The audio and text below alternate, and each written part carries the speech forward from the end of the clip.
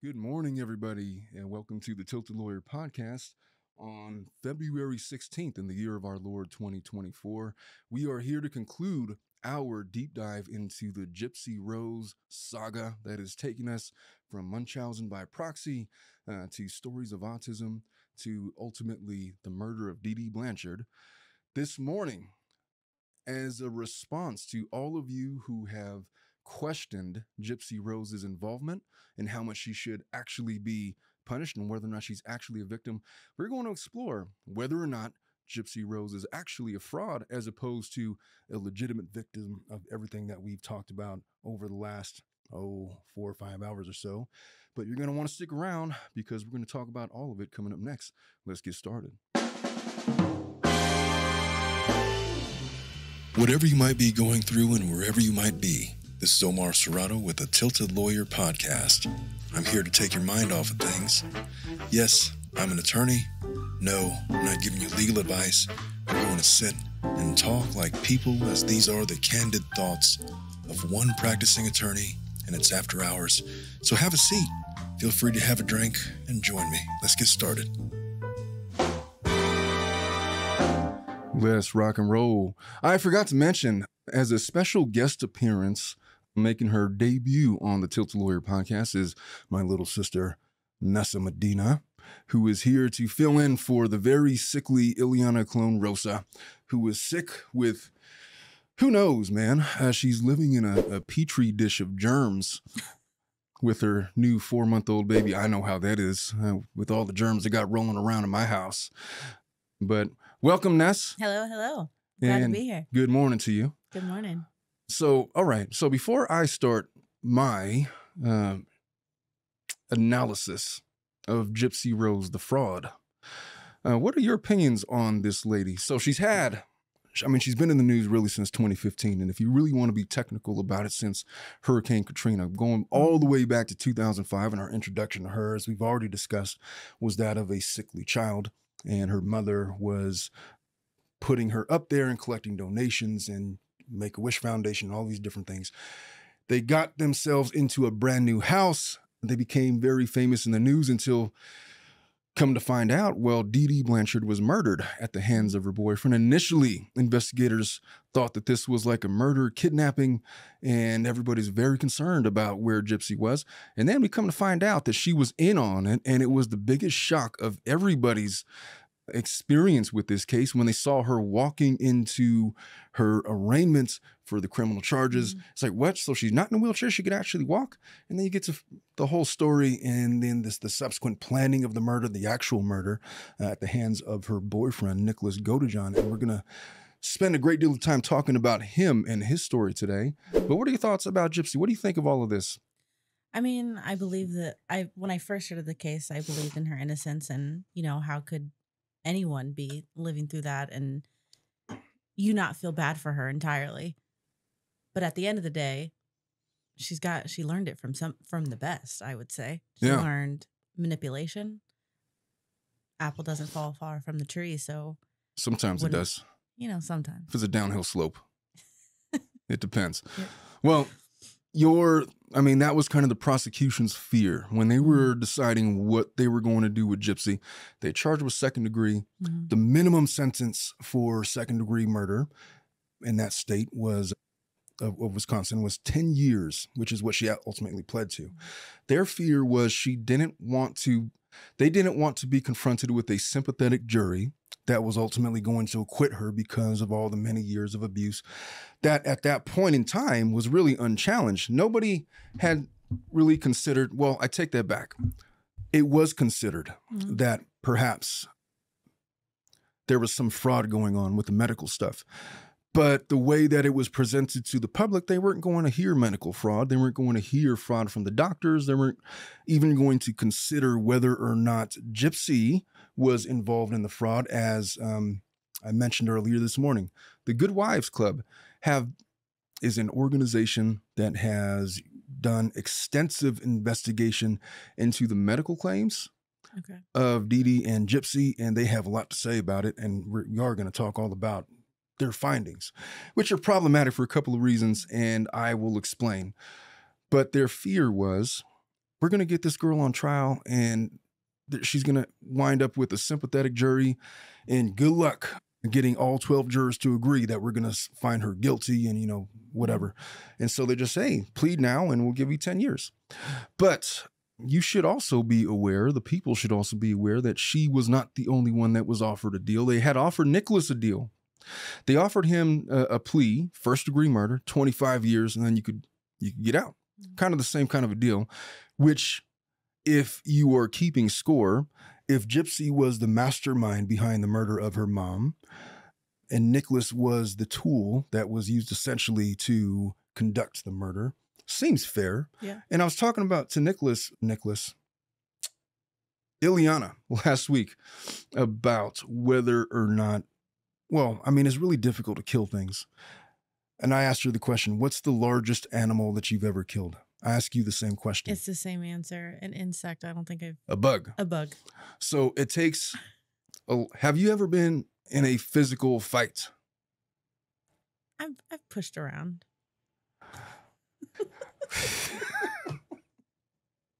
Have I hit anybody? No, I've never hit anybody. You pushed around. I've pushed around. Have you ever punched anybody in the face? No.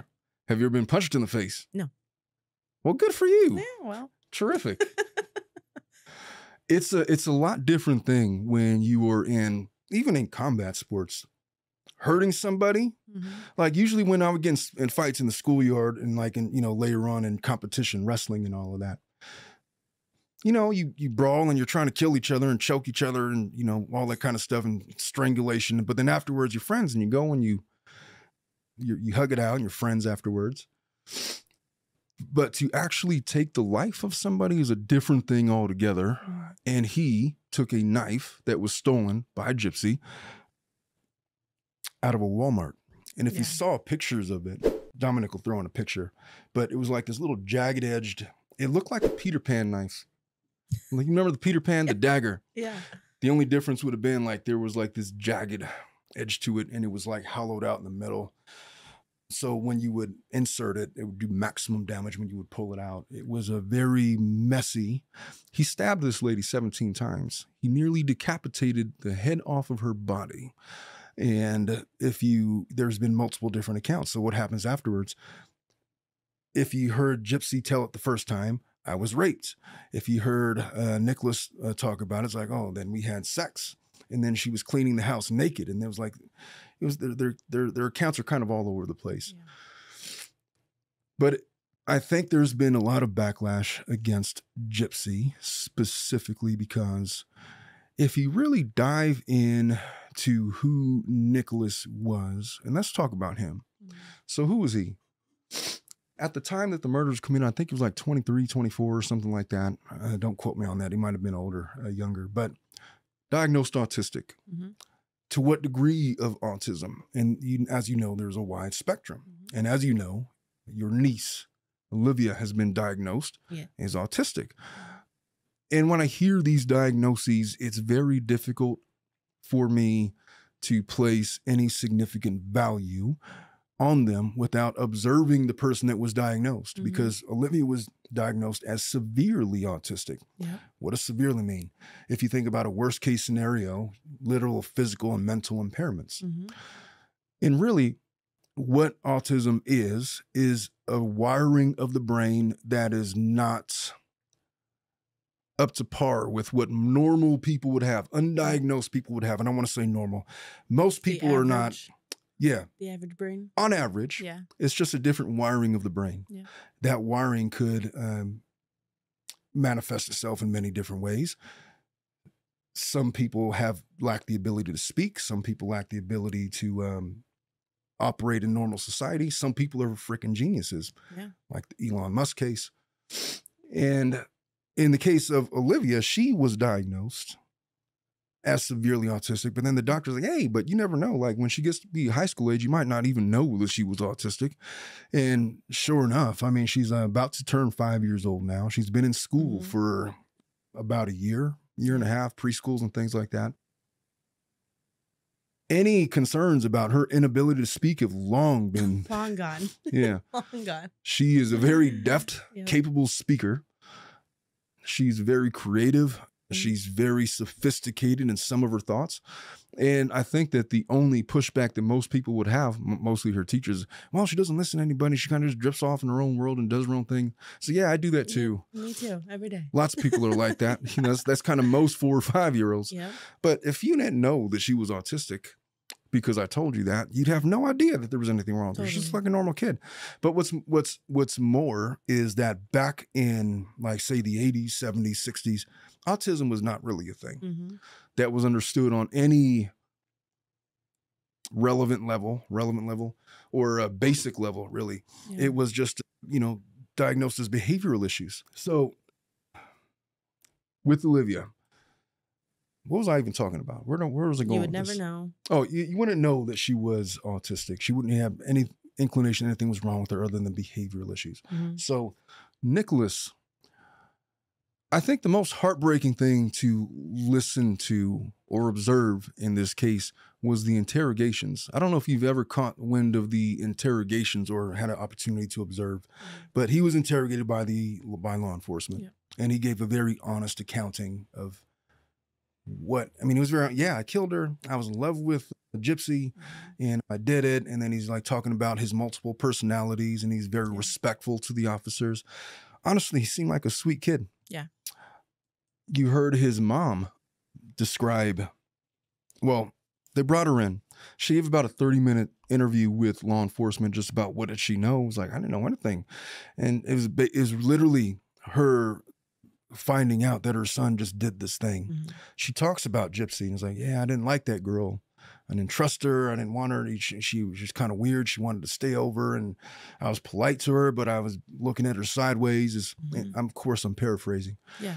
but she had suspicions about Gypsy. But she, the way that she described her son was, he's like the sweetest kid. He wouldn't hurt a fly. He's um, loyal.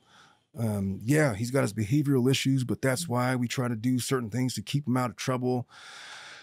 The problem with it was um, he had this entire um, online persona that he cultivated over many years.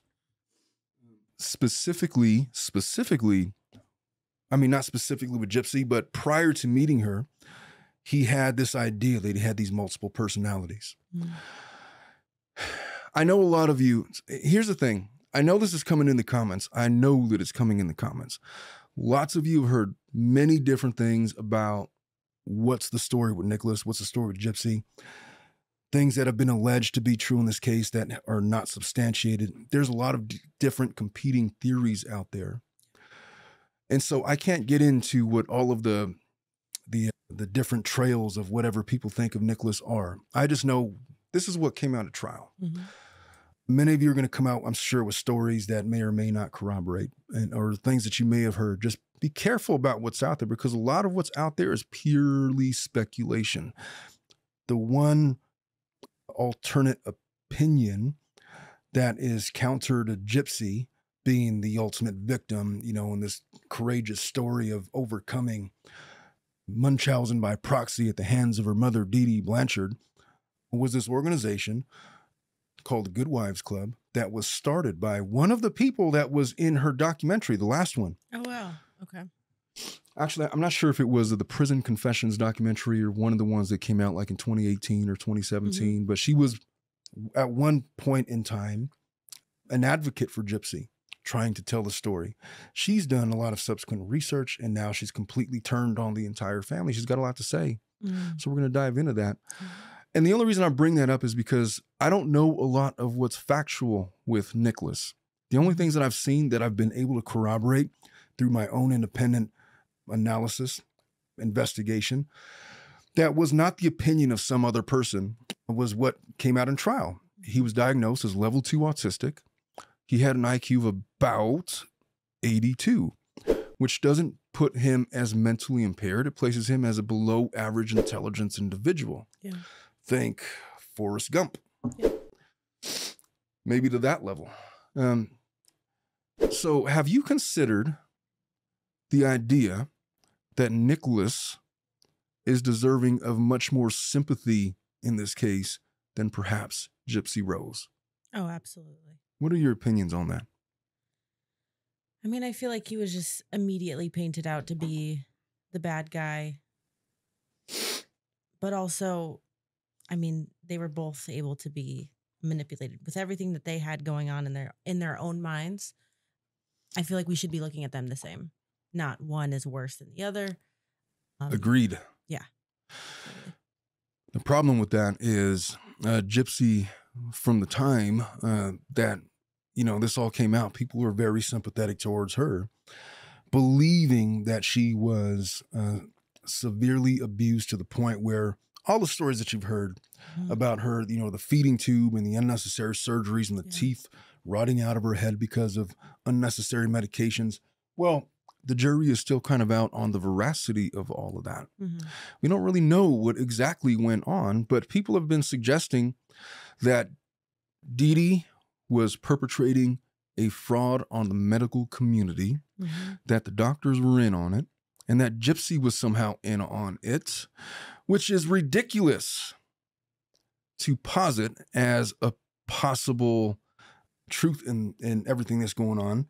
Because from the time that she was born, from the time that they that Dee Dee sat her in that wheelchair, it's not like Gypsy didn't know that she couldn't walk. She could walk. Yeah. She didn't walk because Dee Dee was there was consequences. Yeah. If you get up out of that wheelchair, there's gonna be consequences and repercussions. I will say, to quote one of my favorite movies, I will say that one of the strangest parts about the whole medical account is when she's with the neurologist, Flasterstein, I think it was.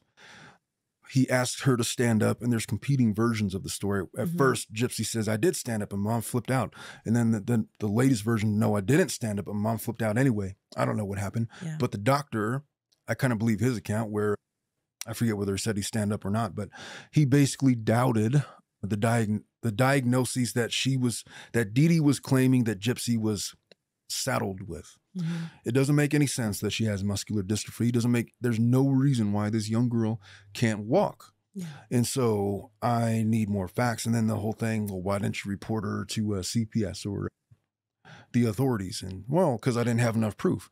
And I've talked at length about Yeah. um, it's not his job to prove anything. It's his job to to raise the suspicion if he thinks it's a reasonable one, Mhm. and let the authorities make the final invest. Whatever. He didn't do his job. I have openly wondered on previous episodes dealing with Gypsy Rose whether or not there were lawsuits coming against the medical establishment, against the doctors who had treated her. So far, that's not in the works. Mysteriously enough, some people in the comments have suggested, well, that's because there's not a lawyer that would take her case, which I kind of beg to differ on that. I've seen lawyers take all kinds of Yeah. cases. Um, Get their name out there. there's not a chance that there is not a lawyer that is unwilling to take a high profile case such as Gypsy Rose Mhm.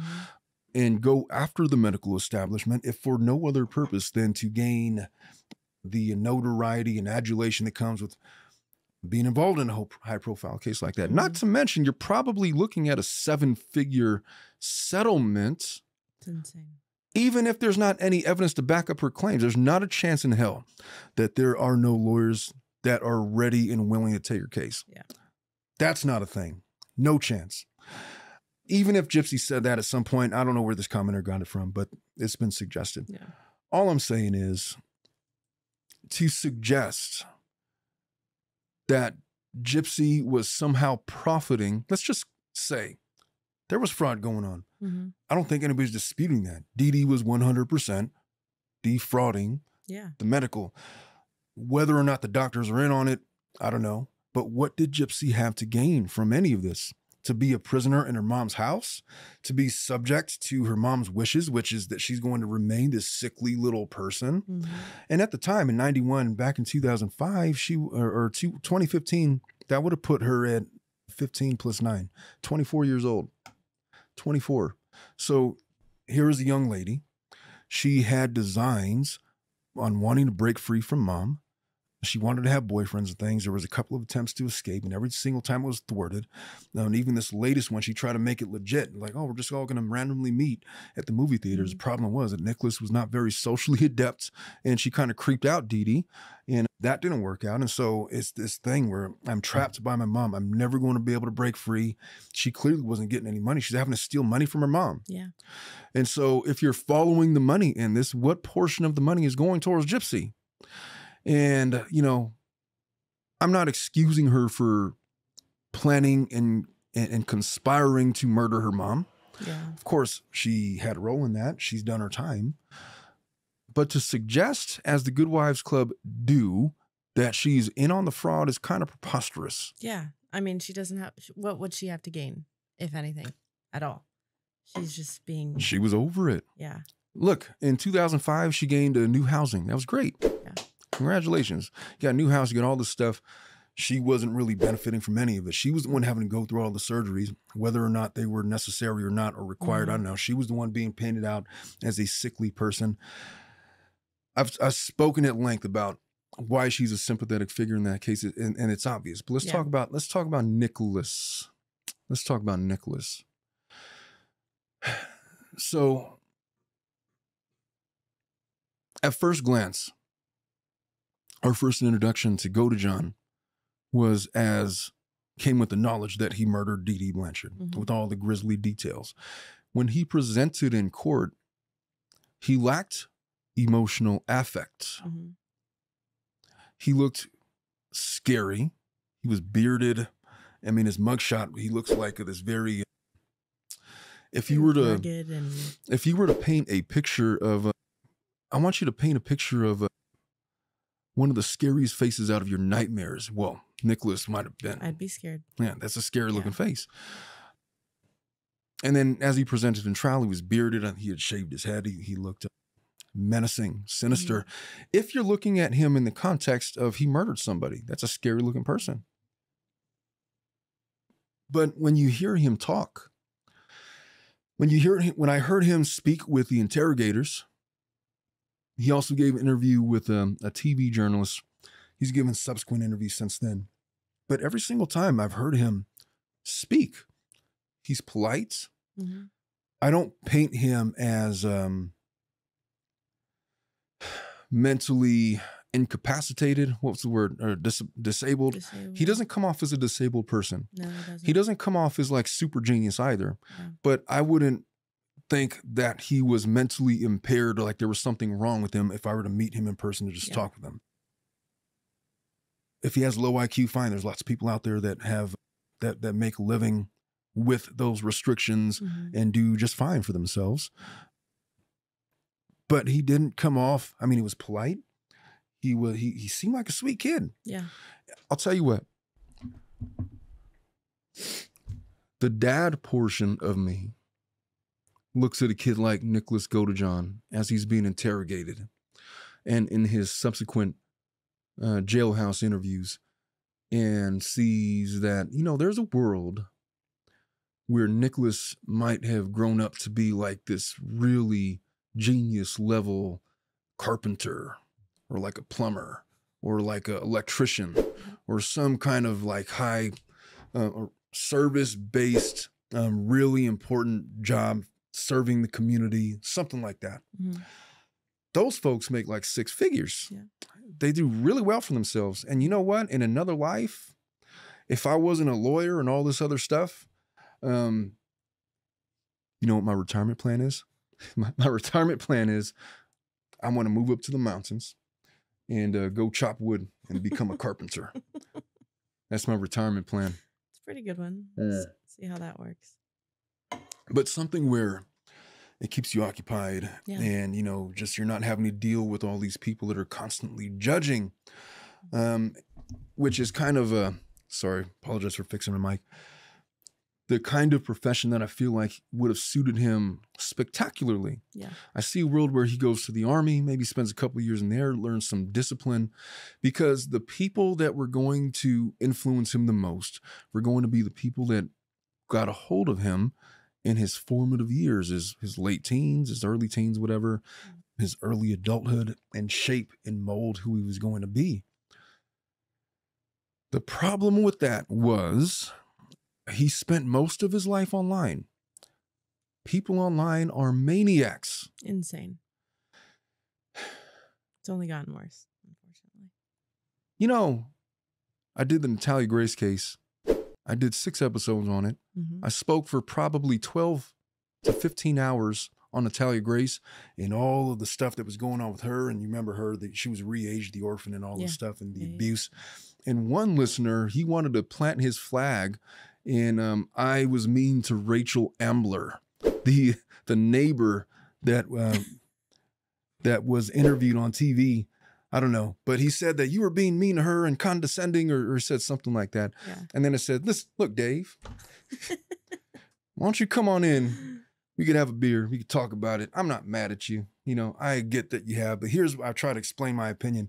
And I did this whole five minute segment and included that in. And then his response is, I didn't ask you to do that. You were backpedaling. At least I know where you really stand. You were mean to Rachel. And it's like, you know, I've been talking for 15 hours on this case, and your one takeaway Was that you were for all of that was Rachel Ambler. I have nothing to say. I have nothing more to say.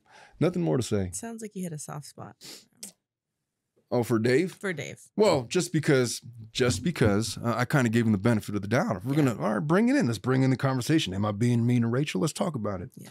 Uh, why do you think that? You know, Mhm. and my whole thing was she was saying one thing when she was confronted with Kristine, and then Natalia gets here to confront her about what happened to her, and all of a sudden she wants to be Natalia's best friend. Yeah.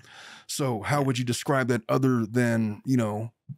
You're basically a coward. If you said certain things back then, when Mhm. she's asking you about them, they're own up to them. But she didn't. It's like, oh, if I knew all of that, I would have swooped you up and all of the stuff. It's like, but that's not okay, because Yeah. literally the segment before she's talking about how Natalia was like this evil little kid. Yeah. I'm paraphrasing. Yeah.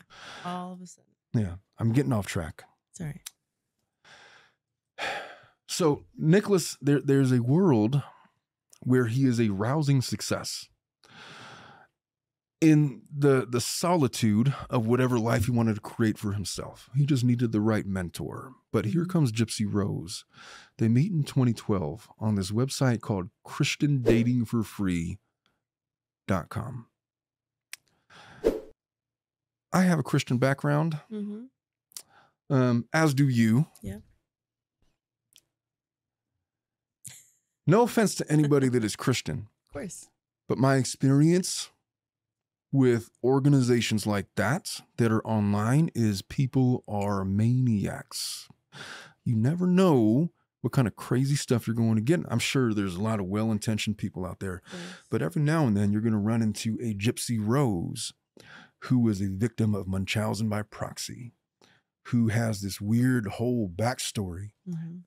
that is straight out of a horror flick, Stephen King novel, that is wanting to conspire to find a way to rid herself of her wicked mother, Dee Blanchard, so she can free herself Mhm. and become Cinderella or Rapunzel or whoever it is, Yes. which is what this young man stumbled upon. Yeah. They meet in 2012. Look, there's three years of social media communications between the two of them. There is very limited text message. I haven't found any transcripts of the text messages. I have found like stuff where they show photographs of what Yeah. was displayed in trial about the communications between them back and forth. It's very clear to me that Nicholas developed his online persona. He was grotesquely in love with the gypsy. He would have done anything for her. He told anybody that would listen, the interrogators, law enforcement, I just wanted to be mm. safe. I'm really in love with her. I would do anything for her and you know all this kind of Yeah. stuff. And then Gypsy comes along and says, Would you really do anything? Yeah. Would you kill my mother? And she didn't say that specifically, but I think he, yeah, he was just in love. for. He was just a, a, I mean, he was just in love. He was willing to do anything to prove that, I believe. He could have fallen in love with anybody. Yeah. Uh, but he chose this one person that would give him attention because he's not socially adept. I imagine that he had problems talking to girls. mm-hmm. That's a thing. I had problems talking to girls before. It's something that young men experience every young man has to go through. If you're a young man and you choose to talk to women, well, one of the things you're going to have to learn is how do you even talk to these people that they're so foreign, they're so different from men. Yeah. It's just not like, look, I talk to Dominic a certain way. I don't talk to you that way. Well, sometimes I do, but you're my sister. Well, apparently you sing mariachi. I don't. I didn't know that Oh, was so that, that whole story. it was just a weird thing that it is. Like, I don't know how to talk to girls. And it's like, you know, when you're when you first start talking to women, it's very perplexing. Mhm. I'll tell you my first experience that I can remember in my mind of me being rejected by a woman. I was so confused. I was so confused. So most young men, here's what happens. Dominic, maybe you could maybe you could relate. But you grow up your whole life, and as you're growing up, it's oh, he's such a cute little boy. It's like, oh, he's gonna be a heartbreaker when he grows up, and everybody says that about every young man that's ever existed. Yep. It's like, oh, he's so cute. And then you get to be about, you know, 8, 9, 10, 11, 12, and everybody, all this positive affirmation. If you're lucky, you got a supportive family. you know. And then I went up to this girl. I remember I was like maybe 14. It was my first week of freshman year of high school. Okay. So literally just turned 14. I'm, I, you know, baby faced the whole thing. You saw pictures. Yes. But I go up to this girl. She was the most beautiful woman I've ever seen. It's like, oh my goodness gracious. But this one, I was in journalism class. I don't remember what her name was, but she was a senior in high school. Oh boy. And so I just walked up to her. I was like, I'm going to go talk to that one. I picked that one. And then I don't know. I don't know how it came out. But what I basically said was like, hey, do you want to be my girlfriend? And then she like literally laughed at me. It's like, little boy, how old are you? You don't even know me. And she thought it was the cutest oh. thing. And I was like so confused. Like, why didn't that work out?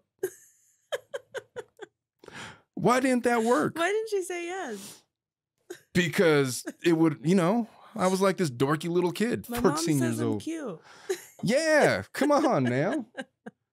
Everybody told me I was supposed to be the heartbreaker. So let me come and break your heart then. Yeah. Huh? But no, that didn't didn't work. So I had to come up with this whole thing. And you, as you're growing and you're maturing into that, you know, it's like it's almost like uh, what's that movie with the oh that movie? What's the what's the movie Dominic with that guy? You just gotta have skills. I got good skills. Well, I got nunchuck skills. I got drawing skills. You remember that? Napoleon Dynamite? Oh, That's Napoleon Dynamite. Love Yeah. that movie. I could relate so much because he's going up to this late this girl. I like, oh, you think you were Napoleon? Well, it was similar. it was parallel to that. Me asking that girl out to be my girlfriend was the equivalent of him. It's like, oh, I just need skills. What could I do? Well, I'm pretty good at drawing. And so he draws her a picture and presents it to her, and it's like this weird face. like, mom makes her go out with Napoleon. I didn't even get that. I didn't even get like the pity. Oh, just go out with him. He's a nice boy. Try it out. so Well, look at you now. It all it all worked. out. Well, it all worked out. But my whole point in even bringing that up, oh, the whole mariachi thing, I'm not saying that I was a good mariachi singer, I never heard it, so I can't. but it was one of these things of in Spanish class, like for extra credit. If you sing this mariachi song, and I did, and like all the girls like, oh, that's so cute. It's like, oh, I'm need to capitalize on this. so So I think when you hit five thousand subscribers, that's what we're doing. nope, nope, nope. I think it's a, I think it's a. First of all, that's not a contract. I've never consented. I've never assented to just that. throwing out something over there. so that this is I imagine Nicholas, this is the world he's growing up in. Yeah. And he's autistic. And it's a different degree, you know, because I didn't have pro- I mean, everybody has social issues, but they inevitably grow out of them. Yeah. There were doctors that said that basically at trial it came out that he's always going to be about 15, 16 years old. Mm-hmm. 15, 16 years old is not, I mean, you could talk to, you know, intelligent 15 and 16 year olds and get by. They just lack life experience. They're Mhm. naive. And this guy was incredibly naive. Nicholas was. Um, imagine him trying to talk to girls like, hey, so, uh, big gulp, huh? cool. Oh, Yeah. I'm thinking about that scene in Dumb and Dumber where he's coming out. Hey, big gulps. Hey, guys. Oh, big gulps, huh? All right. Well, see you later. All right, see you later. That's probably what it was like. Um, but yeah, he's he's trying to find his way. Nobody's giving him attention, and uh, he is um, probably attracted to the opposite sex. He wants to have a girlfriend. He wants to do all of these, and he's getting older. He's at this point.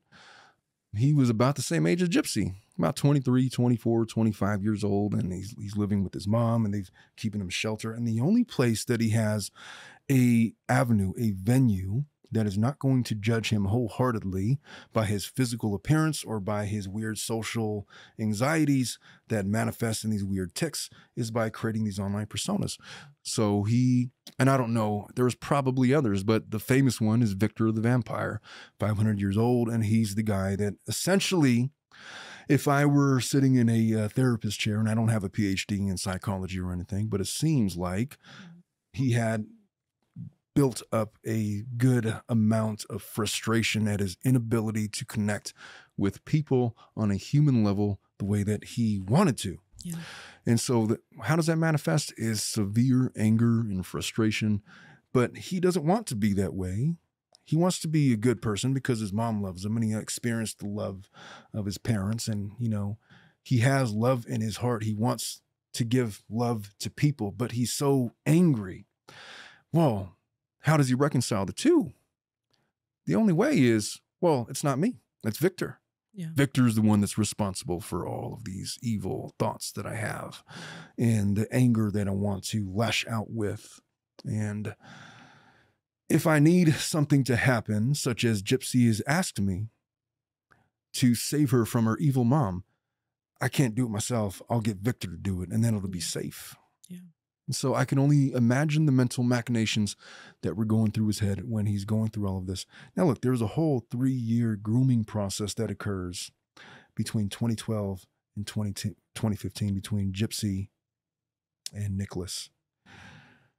If you read the text message exchanges from trial, and I'm not going to rehash them here because I don't have the time, but there are certainly questionable things that he says and there are also unsubstantiated things that he says. Like, for example, one of the things that Gypsy says in her latest documentary was he would bring up like these fantasies, like we're going to run away together and get married, and then we're going to have a kid. And on, on her 13th birthday, I shall take her virginity.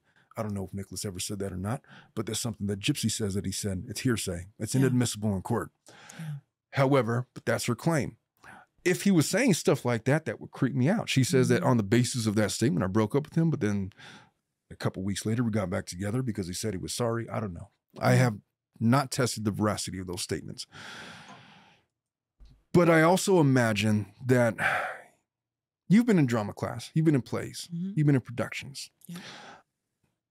When you are autistic and you give yourself permission to escape into a personality without filters, without consequence, because it's not really you, it's Victor the vampire, you will go all in on that and Yeah. explore it to the depths of its darkness.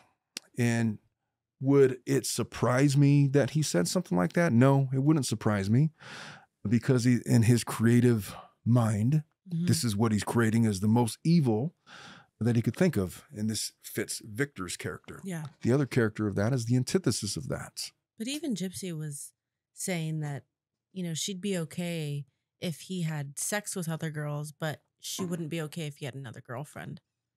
So it was kind of like sex is, he can do whatever he wants.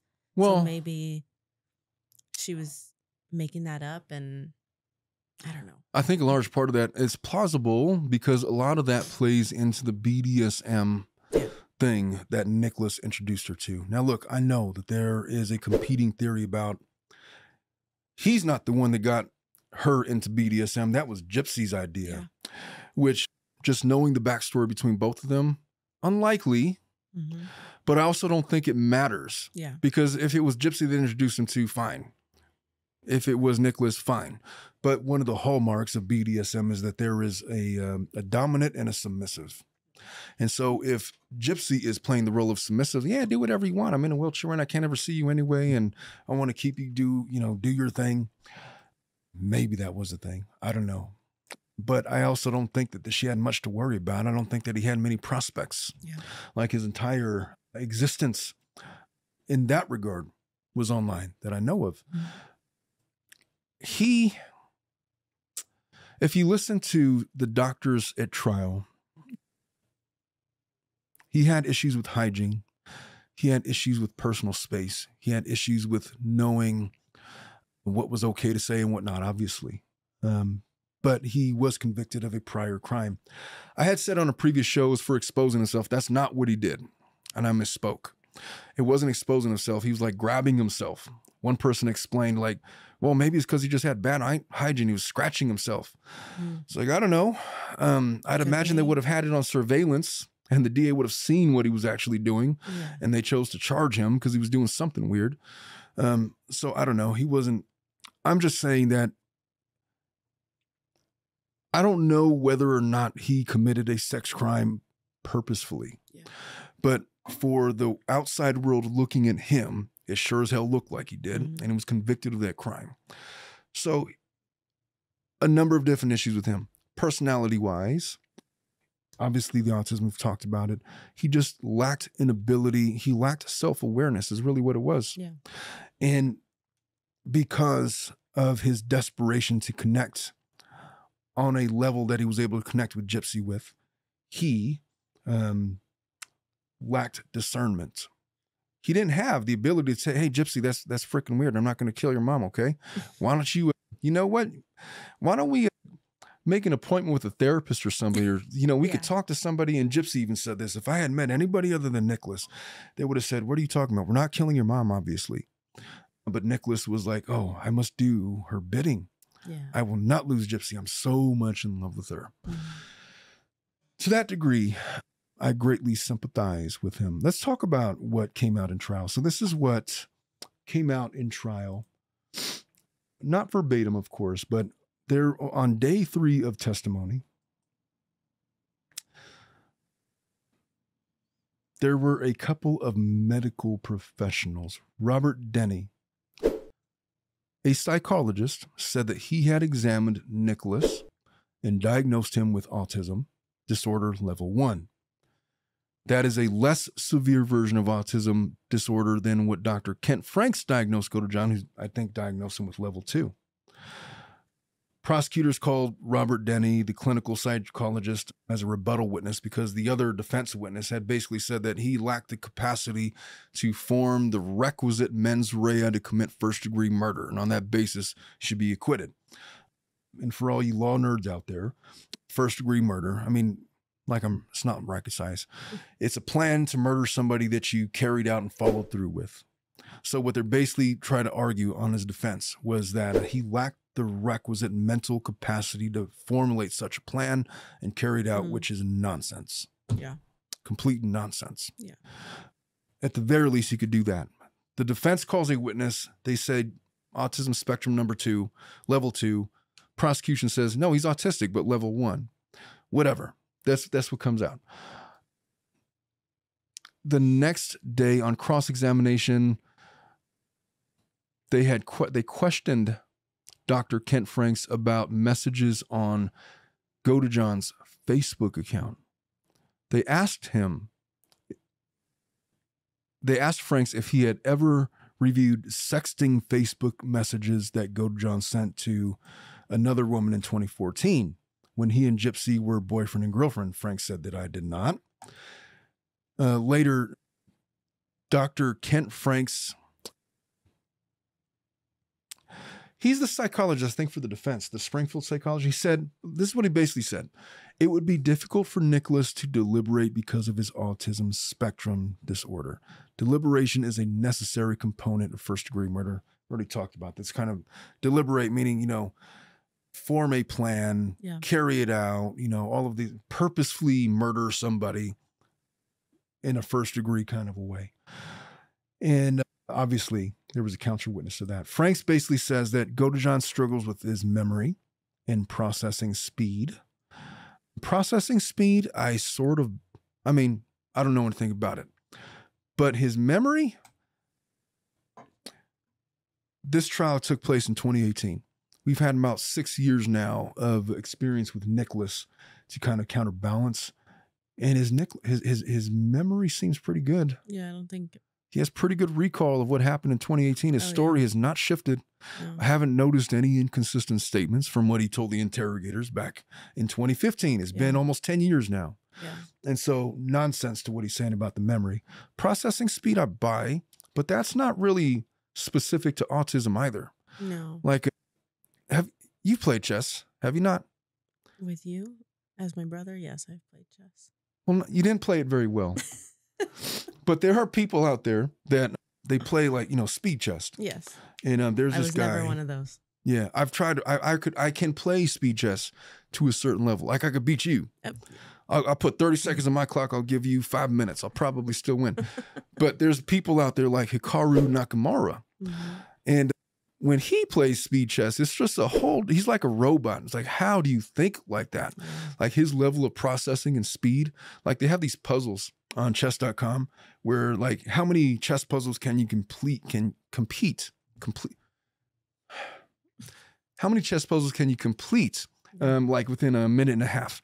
And I usually get like, oh, 14, 15, 16, 21, I think was my best. Yeah. I'm feeling pretty good. And then I look at this effing guy, the Hikaru Nakamura, 58 puzzles. Like, how do you even see the board? Like, he's like making moves like, I don't even know what if I'm black or white. and he's just seeing it instantly. And so you can have a varying degree of processing speed. It doesn't necessarily mean that it's affected by autism Yeah.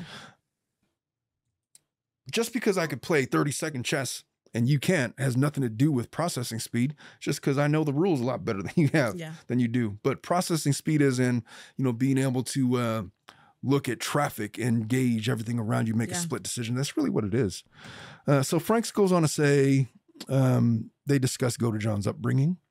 Uh, Franks said that Godejohn went through school and special education classes.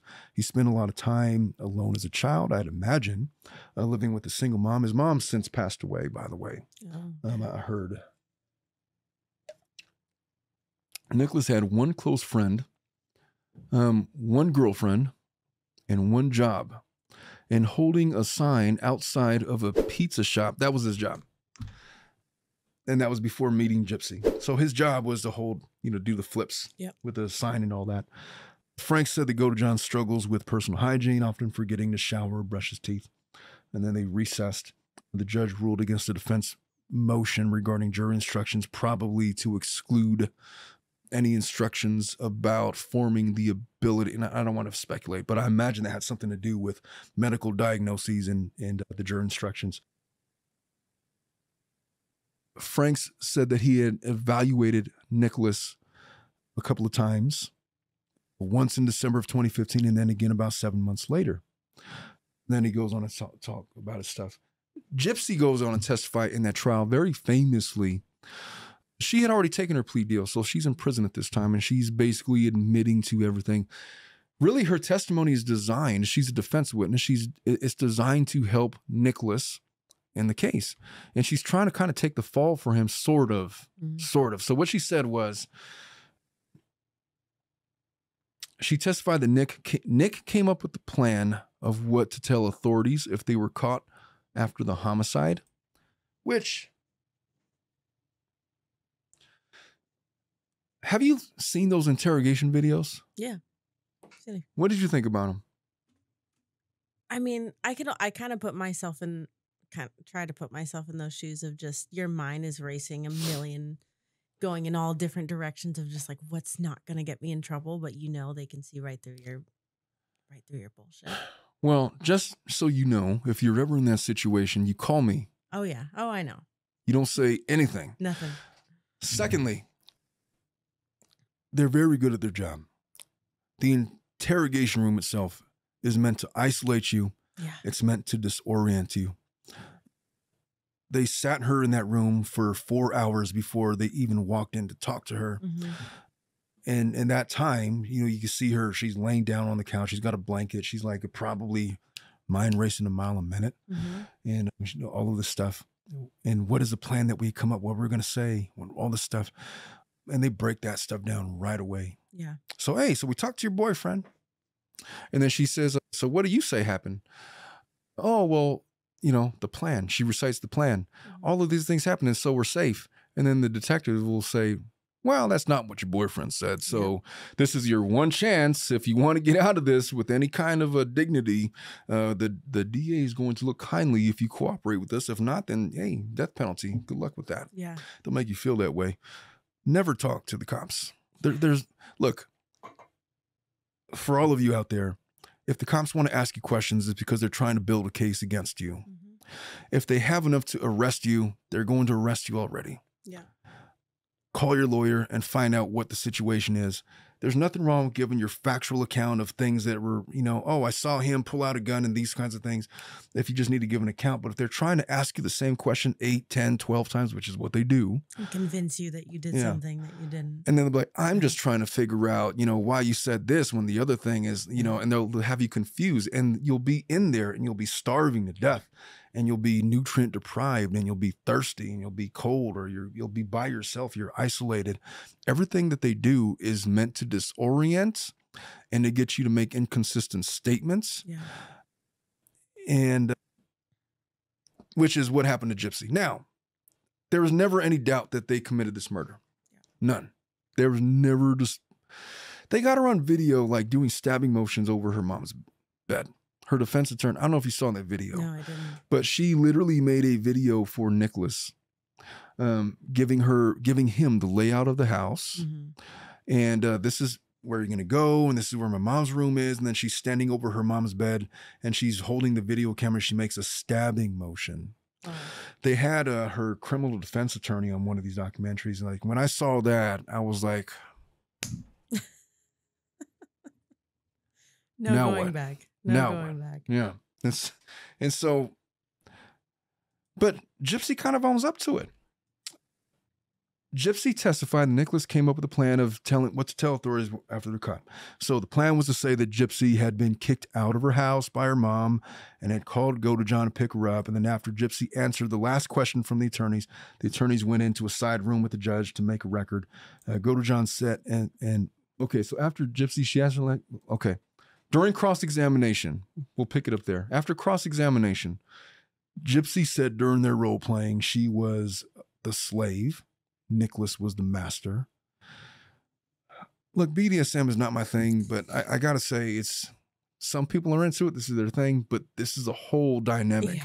master and slave. And and um, I was telling Dominic on the last show, whenever I hear BDSM, I always think about Pulp Fiction. You saw that, seen that movie, have you not? Yes, I've seen Pulp. Jesus Christ, thank God. I was laughing. Bring out the gimp. All right. Um, Gypsy said that Nicholas would send her scripts to read when they made the videos. Gypsy said it was Nicholas who chose stabbing as the method to kill her mother because shooting with a gun would be too loud. Gypsy said that she sent Nicholas a picture of the knife before the homicide and he approved of the weapon. Uh, Gypsy said that she paid for Nicholas to come to Springfield, which is true, the whole bus story. And we did the recounting of that about. She gives a recounting. It's like when I knew he was on the way, me and my mom were sitting down to uh, watch a movie, and um, I give her a hug because I'm like ambivalent about the whole thing. And um, Dee Dee says, "Well, what's that for? I'm not dead yet." And, the, and then Gypsy's like, "Oh, the irony. Give it a few hours." Um, Imagine that. all right. I understand why people want to pounce on Gypsy and demonize her as grooming this defenseless child, even though he was an adult, Yeah. into murdering her mom. I get, I get it. For all of the reasons that I've stated, because I've I I can picture a world where Nicholas is a genuine success. A success story. But he met Gypsy. But I also believe her when she say that there was this reticence about it because it's a lot different planning and saying something. How many times have you in anger said to one of your parents, I hate you. Yeah. I wish you were dead. Totally. That was It's Chris's. like, oh, this would be easier if you know. Yeah, that's what you're. What Chris would do that all the time. that was one of Chris's deals. He would say that all the time. He would say that to me. Uh, I hate you. I wish you were never born. he didn't sound like that, but he he sort of sounded like that. A little bit. But No, I mean you should, you say these things Of in anger, but you don't mean you them. You don't carry it out. You don't plan it. You don't. Yeah. There's different degrees of anger. There's different degrees. It's the reason why we have first, second degree murder is because in the heat of passion, in the heat of the moment, we say and do things that adrenaline forces us to say or do. Yeah. Like uh, in the heat of the moment, you have you ever been so angry because you lost a softball game or whatever that uh, you slam the bat down after striking out, Yeah. or you punch the wall? Damn it! Ugh. Ow! My hand. yep. Um, it's a it's a thing that happens. Uh, and some people murder out of passion, like you just walked in on your significant other with somebody else. Mhm. Oh no, you didn't, and you just happen to have a samurai sword there. I don't know. Samurai sword. I'm thinking of Pulp Fiction. This will do it. Yeah. Um, but then there's other crimes that are premeditated. Yeah. And planned out, and you carry out this plan, you're definitely going to do it, which is kind of what Gypsy did, but to a lesser extent because she's Mhm. not the one that carried out the murder, which is why they were charging her with second degree.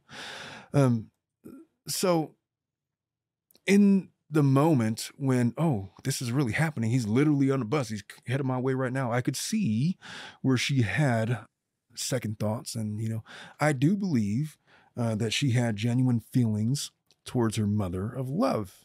Yeah. Somebody had suggested in one of these documentaries that perhaps it was what's that syndrome? Stockholm. Stockholm syndrome. Yeah. Where you fall in love with your captor, or you have these. Like kids who still want to stay with their kidnapper because Yeah. they don't know any better. Yeah. Dee Dee had been taking care of Gypsy all of her life from 91 on. How much of that do you want to say was Dee Dee's fault? I don't know. There are Mhm. some that would say that her dad would have been a bigger part of her life had it not been for the manipulation of Dee Dee, Mhm. um, saying, "Oh, your dad hates you, hates us, and that's why he's off making his own family," and you know, basically thwarting all of her father's attempts to try to have contact or relationship with, with Gypsy. And to that degree, I still hold the opinion that he didn't fight hard enough. Absolutely not. If that was my child and she's in a wheelchair and she has all these medical conditions and I'm aware of all these surgeries, I want to get to the bottom of it. I want to spend some time with her. I want to have her, you know, one on one, not with you, not with you telling me she needs a feed. I want to have my own relationship with my kid. Figure out what's going on. I don't know if that happened or not, but I just know I feel, I feel And he has other kids, right? He's got a new family. He's got a new wife. He's got other kids. But I could not picture knowing that about my child and not following up. I just Yeah. can't. Dee Dee Blanchard is not going to stop me from getting to the bottom of it. I'll tell you that much. But I also am a family law attorney, and I know how trying that is on the parent that is being kind of aced out. Mhm. I have many clients who are genuine fathers. All they want to do is have a relationship with their child, but they're being stopped at every turn by a vindictive mother for no other reason than they broke up. Yeah. What what he he cheated on you? hmm He wasn't in love with you anymore or it's it didn't work out the way you want it to be and so now your anger is at him and you will never see your child and it's a measure of getting back at the the other parent Totally. it happens. And so I suspect it probably happened in this case. And so I don't know, but my only opinion, my opinion about her dad is just, you know, he seems like a, a nice guy and all, but he, he should have fought harder. Definitely. Do I blame him for not fighting harder? I, I can't. I can't pass judgment on him like that because it's it's difficult. It's hard. Yeah. It's hard to go through that and maintain your sanity. And so I'll, I'll just leave it at that with him. What was I? Where was where was I going with this before like I got into all of that? I was talking about something. Well, let, let's let's continue on. So that's what came out at trial with Godejohn. I've seen the text messages between the two of them. Mm-hmm. Nicholas was not stupid. Was he naive? Yeah. Definitely. Was he blindly in love with Gypsy Rose? Yes. Yeah. He's still in love with Gypsy Rose. Yeah, I saw an interview with him, or you know, how he said he'll always have feelings for Gypsy Rose. Gypsy's completely turned on him. And I think that that's kind of lent itself to a lot of the backlash that Gypsy is experiencing right now. Yeah. I had opined on our last episode that it's difficult for me to have all that much sympathy for Nicholas given that he was the one that carried out the murder. It takes an awful lot of physicality and turning off. It takes a certain level of psychopathy, of a lack of feeling and evil inherent within yourself to murder somebody the way that he murdered Dee Dee. And she Mhm. didn't deserve that. Whatever. She's a fraud. Yeah. She's a bad parent. She didn't deserve to be decapitated like that Yeah. as she's calling out for her daughter to help her. Gypsy, help me. It was was the recall as she's being murdered, Yeah. and Gypsy's cowering in the bathroom, knowing what's going on, but not wanting to experience any of it, see or hear. You know. Mm. A- and so it's difficult for me to pass. Look, I sympathize with Gypsy because of what she's went through. Whatever level you want to to to decide, maybe it wasn't as bad as what she's led on. You could say that. And your argument's going to be, I've heard the argument. It's like, oh, well, she's learned from the best. How could you say that she was raised by this masterfully manipulative person, sociopathic, narcissistic individual, and feel like she hasn't that hasn't rubbed off on her in some Yeah. capacity. Yeah. And Gypsy has admitted herself that I've admitted that I've learned from the best. I learned from my mom. And so then it's like, well, how could I believe anything that she says? And the reason why is because of this. When you are, I've experienced this with myself, I've experienced this with my clients, I've experienced this in real life, and I believe it to be true that when you are faced with these intensely traumatic situations, there is refuge in the truth. So her lie was rapidly dispatched with by the Mhm. interrogators. Done. We know that didn't happen, Gypsy. Your mom's dead. What? My mom's dead? Yeah, I think you already know that Mhm. right? And so they got to the bottom of it pretty quickly. And then it's like, okay, I'm going to tell you everything. Um, and I'm not saying everything she said in the interrogation room was what, what the truth was, because it wasn't. She was obviously lying about stuff. But what she's come out with in these subsequent interviews, um, Alan Watts, one of uh, my favorite philosophers, to paraphrase, to highly paraphrase, was basically that there is no greater comfort that you could take than in the truth. And he talks about ego and the ego of being what you are. To be what you are, who you are is what you are. And to try to manipulate that for other people to make it more acceptable to them is is, is number one is for your own ego and it's painful to do Mhm. you're never going to be at peace with that. The only way you're going to be at peace is to present your full self and to bask in the truth. And so here's Gypsy. She's sitting in prison. She's pled guilty. She's already said her truth. She goes in and testifies under oath at trial about the things that she says. And then she gives an interview after the fact as she's being released from prison, uh, pretty much mirroring what she said it in testimony. Mhm. I feel like there's not really much of a reason for her to lie. She said, Yeah, Nicholas did this. He committed this murder, and I convinced him to do it. She's not denying that fact Yeah. because 100% she did. She was the one that said, when he told her, I will do anything for you. It's like, what do you mean by anything? Would you murder my mom? And then he did. And they perpetrated this plan and they were both complicit in this and they did this. They did this and she's owned it and she mm-hmm. pled guilty and she's done her time and she's done her 10 years. So, no, she's not the innocent victim that you saw in the media back in 2005. But what she is, is the person that really ha- doesn't have a whole lot to hide. Yeah.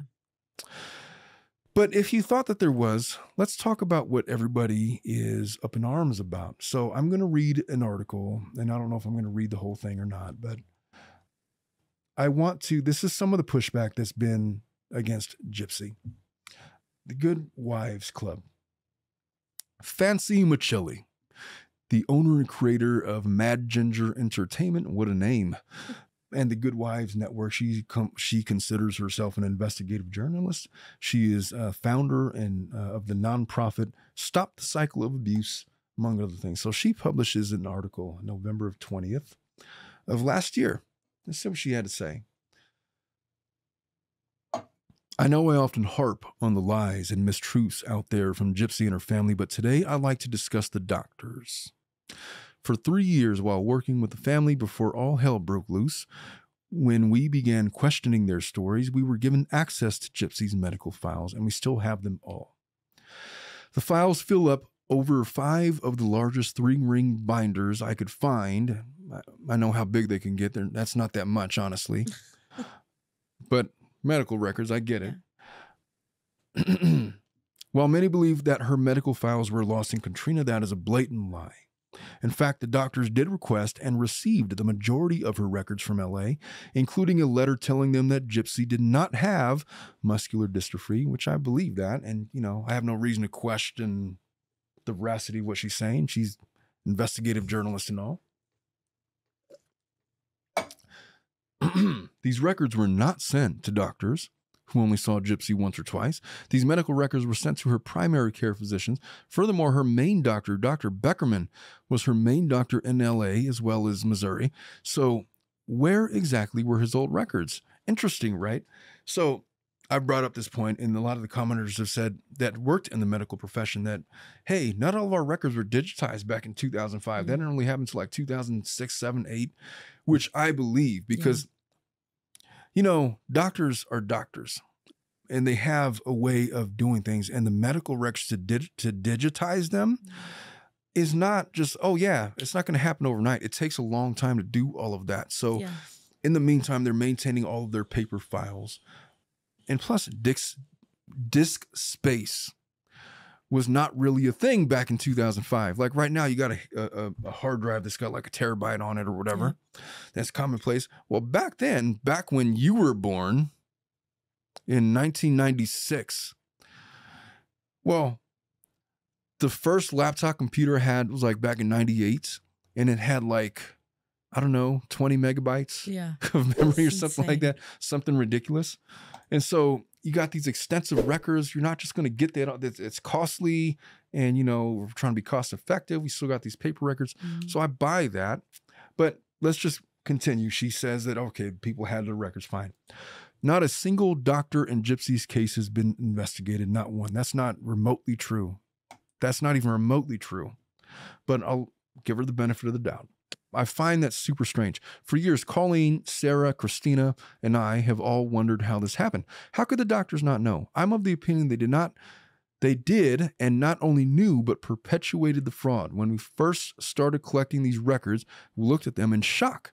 It was utterly unbelievable. But over time, they've really begun to tell a whole different story. Everyone accuses Dee Dee of doctor shopping, but the records don't prove that at all. The same doctors are in these files over and over and over. She also wasn't shopping pharmacies. She wasn't using stolen prescription pads like Christy Blanchard has claimed. There is absolutely no evidence to support this claim. Pushback on that.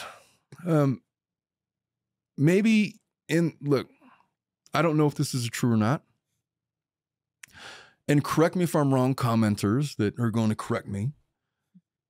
But I swear to God, I I feel like I remember the DA talking about there were stolen prescription pads. I remember that. that they found in the cabinet with all of the meds. hmm She had a pad. Yeah, if you have a prescription pad, hmm that's really only for one reason. There's only one reason you would have that. Yeah.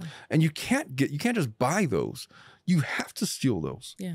And so I don't know where she's going with that, but again, I'm giving her the benefit of the doubt. Um, And hey, I could be completely off base. Maybe I'm wrong. Maybe there really isn't any evidence of stolen prescription pads. That's just what I have heard the DA say. Yeah. And I kind of believe them being Dee Dee was meticulous in her own record keeping. She had a book of all of her picked up medications for her and Gypsy. I can account through the records for every single prescription she had. The medicine cabinet at first glance is beyond shocking, but once you really start evaluating it, things aren't always as they appear. The medicine cabinet looks like she was fleecing every pharmacy in a 100 mile radius. That's what I that's what we first thought. That's what we thought at first too. Then there's a picture of it. And I'll have a link to the picture as well. Dominic will put it in. But instead, that closet to me proves she was never taking any of the medications. Listen, Pacelli, or what is her name? What is her name? Fancy. Listen, Fancy.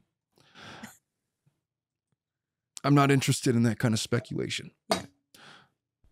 What I have learned about Dee Dee is that she had somewhat of a medical background. And if you have a closet full of pharmaceutical medications and your scheme is to perpetuate a fraud, but you don't want to get your daughter so sick as to, you know, harm her in like mm-hmm. a, a real robust kind of a way, you will have all of those medications, but you're not going to overdo it. Yeah. Like uh, you're not going to keep on giving her all of these opiates. You're not going to keep giving her all of these uh, stomach medication. You're not going to give her all this kind of stuff because of how they might counterbalance some of the symptoms that you're trying to perpetuate on other doctors. Just because she has a cabinet full that has of medicine that hasn't been fully used, I'm assuming that's why she's saying that, doesn't mean, or just because the, the medications aren't being taken, doesn't mean that uh, Gypsy was not perpetuating the fraud herself on Gypsy. It certainly doesn't mean the Gypsy's in on it, Yeah. but the fact that she has a cabinet full of basically uh, a miniature pharmacy in her cabinet in her house lends credence or support for the fact that, oh, because she had a pharmacy pad that she had stolen from a doctor. Yeah. And so I don't understand fancy speculation here, but I'll continue with her. The closet is in direct opposition to the rest of the house. The rest of the house was in utter chaos, except for the medications. Makes sense. And it was, the house was kind of a pigsty. It was like a, Yeah. she was like a hoarder, basically, to a minor degree. So the first responding officer, Officer Hughes, told us that one of the back bedrooms was so full of junk they couldn't push the door open. Take a zoom in on this picture. If you look at the boxes and bottles, there truly aren't that many that are prescription. The ones that are look like the ones that are look like cough medicine, which we do have many records for those, and they appear full. The boxes are inhalers. Again, look at those boxes piled up but not open. So Fancy is speculating on one photograph that came out of the discovery Mhm. and trying to form conclusions, which is kind of, you know, a fool's task, Yeah. if you ask me. Yeah. One picture from one moment in time from 2015 does not tell the story of what happened between 1991 to 2025. Not 25, 15. 23 to 24 years of Gypsy's life. It doesn't tell the full tale, but fair enough. Everything else is over the counter medications. So the house of the hoarder's delight. So she talks about Dr. Beckerman. Dr. Beckerman was Gypsy's main doctor with Dr. Steele. Both doctors worked for Children's Mercy Hospital of Missouri. Dr. Beckerman was Gypsy's doctor for her entire life. In fact, after leaving Louisiana to go to Missouri, he held his medical license in LA and practiced there. So he saw Gypsy this whole time. He didn't randomly reunite with him after Katrina. His records are at best unprofessional and at worst littered with blatant lies. On one visit, he states she's 13. On the next visit, two days later, in his own words, she's now 15. And back to the thir- uh, 13 on the next visit. This goes well beyond just bad record keeping or Dee changing birthdays. These are doctor's notes and things change from him depending on what doctor he is communicating with. He refers to them in his files as his favorite mother daughter patient. So she carries on, and basically, without reading the entire interview because it's like a article, it's like a thousand pages. If you guys want to look it up, I'll, maybe I'll leave I'll, I'll leave a link in the description um, from this article that you could read for yourself. But her basic premise is that Gypsy is not as innocent as she seems. Mhm. She was in on the fraud if there was a fraud at all. Dee Dee, well, she claims there was a fraud. She just claims that Gypsy was sort of kind of in in on it. Yeah. Um, multiple lies about what Gypsy has said about the abuse and level of abuse and things that have happened. For example, Gypsy talks about accounts where she was beaten with like coat hangers and fists and all those kinds of stuff. Maybe she was, maybe she wasn't. I don't know. Was she embellishing? I don't know. I just know this that the uncontroverted evidence from the DA to the defense attorneys, from all the other people, suggest that she was severely abused. Is it to the degree that Gypsy said? I don't know. I really don't. Yeah. I guess the question is does it matter? If she was being forced to be kept in a wheelchair from the time that she was about three or four years old until she was now an adult young lady, 23 to 24 years old, to the point where she's being financially controlled uh, by Dee Dee Blanchard, to the point where she didn't have a education to be able to fend for herself, get a job, go out, make her own money, do whatever. Uh, she's being fed all of these uh, Disney themes, and you know this is her education on the world, and Yeah. um, she's wanting to go to all of these science fiction conventions because it's her escape. It's her her way to, I, I guess, connect with the outside world. And every time she has a boyfriend, all of a sudden, you know, Dee Dee can't handle it. She's supporting her completely financially. She's going through all of these surgeries, which may or may not be required or not. They go, they go, they go on to argue in this article that some of the surgeries that had happened were perhaps actually needed because of various conditions. Then she goes on to argue that. So this is what Fancy is claiming in her article. So, of note, most of Gypsy's surgeries and treatments were considered routine. Most, but not all. If you look at Gypsy in her early years, you can see problems with her eyes, which is true because she Yeah. did have like a wonky eye or like she had these seizures. But when I, I think that like one of her, like she had an eye that would wander basically Okay. And like a lazy eye? sort of I, Okay. I, I don't want to say that because i don't know if that's the correct medical term Oh. but there was something definitely going on with her eyes Okay. uh, that required some kind of a surgery and it kind of uh, prompted or started or was the the the initial moment to Dee Dee saying, "Hey, um, I really like how this sympathy feels, and so I'm going to corroborate this." And then you know the the uh, motorcycle accident and all that kind of stuff. So there was definitely some surgeries that were necessary, but not all of them were necessary. Was Gypsy's point? She's saying that some, you know, most of them were required, but no, not all. Whatever. One such instance was with the breathing machine. There are hours and hours of it just running with no ups and downs, as if the machine is turned on and left.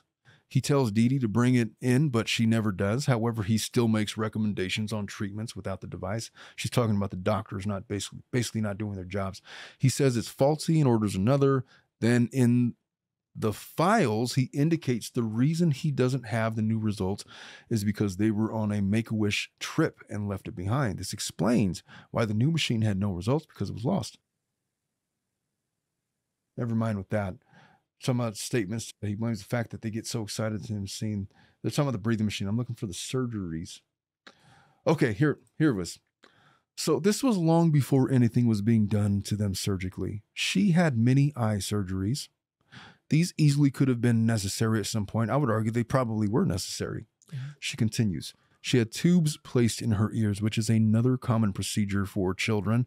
I don't know if that's true or not. I haven't really what heard kind of of it. common surgery I got that? three kids. I've never stuck any tubes in their ears, but given again, I'm giving her the benefit of the doubt. A feeding tube, the second most invasive procedure of all. She never had monitored and numerous dental surgeries that could have been needed for a variety of reasons. She didn't take one bite of cake and her mom removed them like certain shows have portrayed. They were rotting out of her head, and that can be explained as just bad teeth or bad oral hygiene. So, but there's no medical records. Look, the the the more sent there's lots there's lots of people that have bad oral hygiene. Not everybody has teeth falling out of their face Yeah. at the age that Gypsy was. And so for all of Fancy's speculations, if she wants to attack the doctors, that's fine. Um, if she wants to say that Dee Dee was making up stuff, that- I don't think anybody's disputing that. But, you know, for her to speculate that it could have been other things. Well, no shit. Yeah. Of course it could have. Yeah. That's why we look at all of the evidence. So I feel like she's gone through all of these investigations. She needs a purpose for it. And she has all of these alternative theories, and people are eating it up. And they're saying, oh, the lies and all of this with Gypsy. I feel like a lot of this is just perpetrated because I think that people have sympathy for Nicholas and the way that he was ma- manipulated and carried into this. Before I get off track, uh, to, to finish with this article, the biggest and most dangerous surgery would have been the removal of the salivary glands, but I'm not convinced that was actually done. A friend of mine, Jen Liu from the Ward case studies, pointed this out to me. Gypsy is capable of licking her lips and producing saliva. And if all the salivary glands were removed, then she would not be able to do this. Mm. Upon reading the medical files again, what we can see is the glands were reduced in size but not fully removed. With the questions we have on the doctor's involvement in the fraud, though we can't even be certain the surgery was even performed. I know it's a wild stretch, but it's not unheard of, and in my opinion, in this case, it's just about the only thing that makes sense. Gypsy has had way too many conflicting issues in her files being regularly shared with other doctors for this to be swept under the rug. These doctors need to be investigated and their licenses should be revoked. Perhaps. Perhaps. But I'll just my my critique of that is just in this article. And the problem with a lot of these articles that the, the, the Good Wives Clubs have presented is that a lot of it is just pure speculation. Yeah. Nobody really knows what happened other than Dee Dee Blanchard, Gypsy Rose, and whatever happened between the two of them, that was an audience of two. Yeah. We could speculate as these people have. You could turn on Gypsy and say that she's lying and I can't trust anything that she says because she learned from the best. Yeah, sure. You could do that. Mhm. On the other hand, you could use your own discernment and just take everything into context and just say that, look, for whatever you think happened regarding the abuse of Gypsy Rose as she being held captive by her mother, something happened that caused her to be a 24 year old adult female parading around in a wheelchair, feeling like she had no other option than to get rid of her mom. She's admitted, yes, I plan to kill my mom. Yes, I made Nicholas do it. What defenses did Nicholas have? He didn't have many. No. His mom was aware of Gypsy, but I don't think she knew to the degree or the level of like she knew that he was infatuated with Gypsy. Yeah. She The did- amount of control she had over him. She didn't know much about Gypsy. Yeah. But, you know, a lot of what the investigators presented her with during the interrogations was like news to her. Yeah. But the way she describes her son is like, I felt for her because it's like she's cared for him all of his life. She sees him as this good kid. You know, she's raised him. She's that's this is her baby. He would never hurt anybody, is what she Yeah. kept saying, unless, unless he falls with somebody in love with somebody so deeply Hmm. that he would do anything for her. And because he loves his mom, and he would do anything for his mom, the true test of love's purity is what you would be willing to sacrifice for your person. And if you tell me that your mother's abusing you and you need me to get rid of her, well, damn it, I'm going to summon Victor. Victor will take care of all. And that is Nicholas's story. He could have pled guilty. He could have pled guilty and not tried the whole lack of mental capacity defense. And I don't want to be too harsh on his defense team, but the arguments that they presented during trial were ludicrous.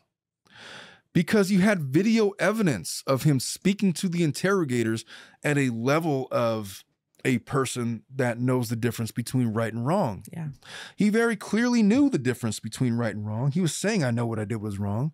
He had sufficient recall of all of the events that happened. So, at, at, on the one hand, they're questioning his memory and saying that his mental incapacities affect Mhm. his memory and his ability to recall. Yet you see him on film with the interrogators recalling step by step how it happened, exactly how it happened, taking them basically giving a photographic memory. The one discrepancy being, I thought I stabbed her four times, but it was definitely multiple times, but it was actually 17, was like Yeah. the thing that he got wrong the most. there's also accounts of him after the murder was committed. He was severely heartbroken. He was troubled to his core, to the version of him that was not Victor, the 500 year old vampire. Just Nicholas himself, he was heartbroken over what he did. There's an article that came out uh, way back in 2018. There was accounts between Nicholas and Gypsy as they're sitting in the hotel rooms after the murders have been committed, where he's like crying his eyes out. He's bawling incessantly. And then Gypsy keeps telling him, There's no reason for you to cry. What are you crying for? I'm the one that told you to do it. It wasn't your idea, it was my idea, trying to take the blame off of her, off of him. Mm-hmm. And I think that that's kind of what angers people the most is that she describes this as being like, oh, we're going on this, like I'm going on vacation to Hawaii on their bus trip afterwards. The way that this was all planned by her, was she more sophisticated than Nicholas? 100% she was. Was she more intelligent, have better mental capacity than Nicholas? Sure. She also wasn't the, sharpest tool in the shed. But her plans and how she orchestrated all of this, stealing the knife and the gloves uh, for Nicholas to use. The curious part about it all was why was it the plan to murder to, to mail the murder weapons back to Nicholas's house? I heard about that. What do you think of that? Well, in your layperson's brain, not a lawyer, why would somebody mail the murder weapon to Nicholas's house? I genuinely had no no answer for that. Is Mm. it Unless you're trying to pin the murder on, on Nicholas. him? Yeah. Yeah. Because there was a moment in time Yeah. in the interrogation where she 100 she 100% was going to place all the blame on Nicholas on Nicholas. and try to get off scot free. She thought that that was going to happen. Yeah. But no. They they had other evidence against her obviously. But she 100% when she's been interrogated by law enforcement Mm-hmm. Flipped on Nicholas. Yeah. Now she comes back triumphantly in 2018 and she tries to do him a solid and testifies on his behalf. but there was 100% a part of this plan that involved her setting up Nicholas. She gets him to do his bidding. How much do you love me? Do you love me enough to kill my mom? Yes, I do. And then they do. They they set up the whole plot, the whole plan, and they he carries it out. But the whole mailing the murder weapon to Nicholas's house as opposed to disposing of it somewhere, Yeah. like most people would try to do, Yeah. is just th- there's only one reason you would do that Yeah. to pin it on all on Nicholas. So I feel like people probably correctly, eh, which is why they're so upset at Gypsies because look, she groomed this young man for three years. She came up this plan. She convinced him to do it. She got him to fall in love with her. And then at the end of it all, she wanted to throw him away for the rest of his life, take the rap for the murder. Yeah. And indeed, in, indeed, he is sitting there, life without possibility of parole, right now as we speak. And she's out. She's married to some new guy, and she's living her life. So She's famous now. the backlash for her is, I feel, rooted in that. Yeah. All of these other conspiracy theories that you're trying to come up with that she wasn't actually a victim of Munchausen, she was in on the fraud, or all of these lies, or she wasn't abused like she says, is a red herring. That's because she was clearly abused to some level. Yeah. Definitely. I don't have any doubt that she was abused. It's just a matter of she has somebody else paying the consequences of Yeah. But she 100% tried to set up Nicholas. Yeah. And so I understand. So the title of this episode, and I don't know what it's going to be yet, but I imagine it's going to be something along the lines of Is Gypsy Rose a fraud? Victim or Gypsy Rose, victim or fraud, or something like that. I don't know. Yeah. Dominic will come up with something better. but uh, asking that question, I feel like it's a mixture of both. Yeah. 100% a victim. 100% she tried to lie to law enforcement to gain the upper hand.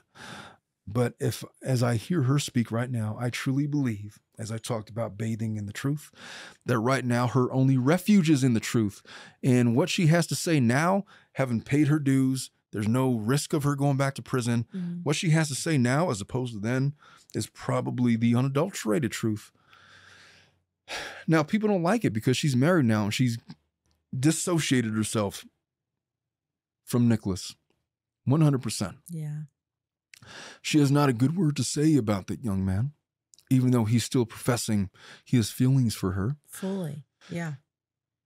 And, he so, has- he said with his new Christian faith, he will he can't put place judgment on Gypsy because well, good for him.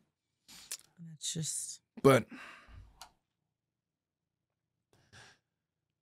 I don't know, man. yeah. It's, it's, it's hard for me as a lawyer. You know, I used to work for the DA's office. I interned for the DA's office. Yeah. And one of the reasons why I decided I wasn't, I couldn't be, I couldn't be DA. I couldn't because they want to pass judgment on all of these folks. And there was like an occasion where there was this guy, and I was like a, a law student. And so I was making a court appearance, but like the DA was supervising me, but I was Mhm. like making the appearance in court. And it was for like a bail hearing. And like the DA wanted me to say that this guy had a rap sheet a mile long and that he was, well, here's what the defense was saying. The defense was saying this guy is a vital part of his daughter's rehabilitation. Mhm. His daughter's some medical condition. He was like deeply involved in the rehabilitation and he needed to stay out of prison. And he was a good guy. And all he wants to do is he wanted to lower the bail so it would make him easy to easier to bail out so he could continue to care for his daughter. Okay. The DA wanted me to say that, well, he's got a rap sheet going back 12 years. And I looked at the charges. He had like five different convictions for possession of marijuana. Give me a break. It's, it's freaking legal now, Yeah. right? Um, I mean, at least at the state level. But they wanted me to say that based on his record, for all we know, not only is, is he a danger to the public, but he's also a danger to his daughter. And the DA wanted me to say that. Yeah. And I had to say that because that's, they're telling me they're my boss, right? Mhm. And I'm not even a lawyer at that point. I'm a law Yeah. student. But I felt so dirty saying that. Yeah. Like I'm passing judgment on this guy's entire life. And I didn't even believe it to be true myself. Um, I couldn't. I can't. Look, I understand they serve a purpose and it's their job to do those things. But the act of, and you know what? There are DAs out there that would take a case like that and say, Mhm. yeah, I agree. Um, well, I have no, no opposition to that. But this particular DA just, Yeah. you know, whatever. And I don't know if he had a vendetta. I, I doubt it. Knowing that guy, he was a really good attorney, really good DA, really good guy. But I just could not stomach it. Yeah. And so I became a criminal defense attorney when I first started my career. And it's funny because when I was on the trial team in law school, I really, really, really wanted to be a DA, but my professor was like, "Oh, you're such a criminal defense attorney. Give me a break." Like I am not. I'm here to serve the justice of the people. And well, Here you are. turns out she was right. Either way, Gypsy is guilty of many a thing. Second degree murder for sure. Uh, did she uh, cut ties with Nicholas and try to flip the, the script and throw him under the bus? Yeah, she did.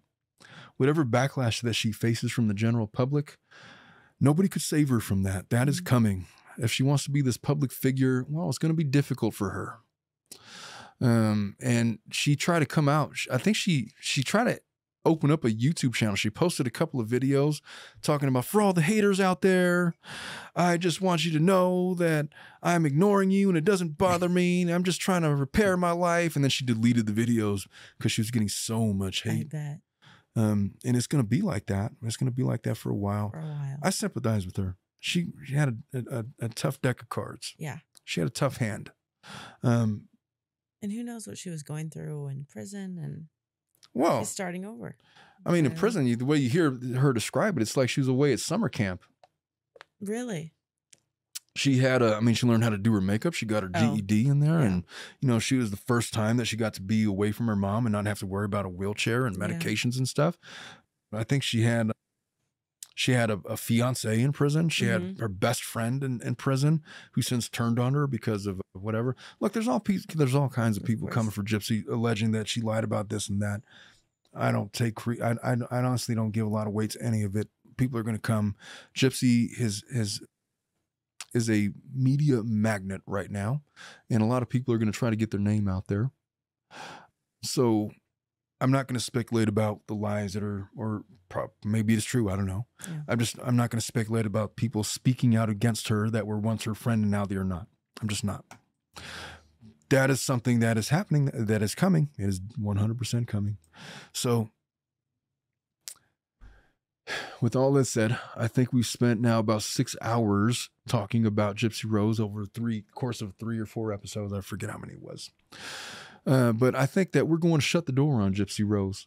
Uh, at the end of it all, uh, in conclusion, Gypsy Rose was a victim uh, of Munchausen by proxy. I haven't seen any evidence to suggest otherwise, and you could speculate to degrees. You could speculate to to degrees of physical abuse. You could even speculate about her accounts of sexual abuse not being true, which I 100% believe is true, having listened to uh, the grandfather speak. But another Mhm. story for another day. She was a victim, a tragic tale of what happens when you confine a young woman that has a will to be independent and free. And what happens? What could what is the ultimate that could happen? Well, it could end up in murder. In the story of this young man, Nicholas Godejohn, who was a sweet boy by all accounts, he creates these online personas. He creates a home for himself in his head about Victor the vampire, not vampire slayer, Victor the vampire, who does his evil bidding. And you could find sympathy for him as well. The only person that has lost their life in all of this is Dee Dee Blanchard. We're never going to get her first-hand account, her first-hand account of any of this. She's gone. And whatever your opinion is of her as a parent, as a, uh mother, as uh, whatever, she didn't deserve to go out the way that she did. Nicholas didn't deserve to meet Gypsy, a person that was going to convince him to commit first degree murder, given all the good things that he could have become. And Gypsy did not deserve what she got. Now, she deserves what's coming. And I can't save her from that. And nobody could save her from that. And that is part of the deal. It's not just a 10 year prison sentence. She serves eight years of it and then, you know, get to start brand new like none of this ever happened. Oh, the public is going to hold her accountable mm. and she's going to have to adjust to that. She's going to have to adjust to married life and try to figure all of that out. But for all of that, you know, I wish her all the best. I have no judgment to pass on Gypsy or Nicholas. They've already been judged.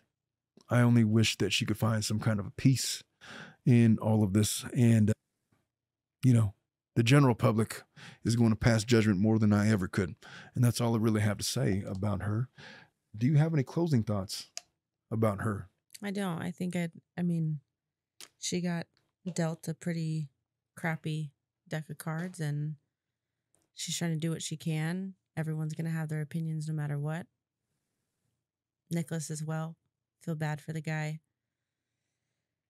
But it was gonna be, you know, if, if it wasn't him, she was gonna do it to somebody else. And Maybe, or maybe not. There was that guy, Dan. Dan wasn't yeah, killing anybody. He was a 35 year old guy. I mean, they ran away together. yeah. But like she said, But anyone she could manipulate, she was gonna yeah, she needed somebody that could be manipulated. If I met somebody online that was telling me to kill her mom, it's like, good luck with that. yeah. what the hell?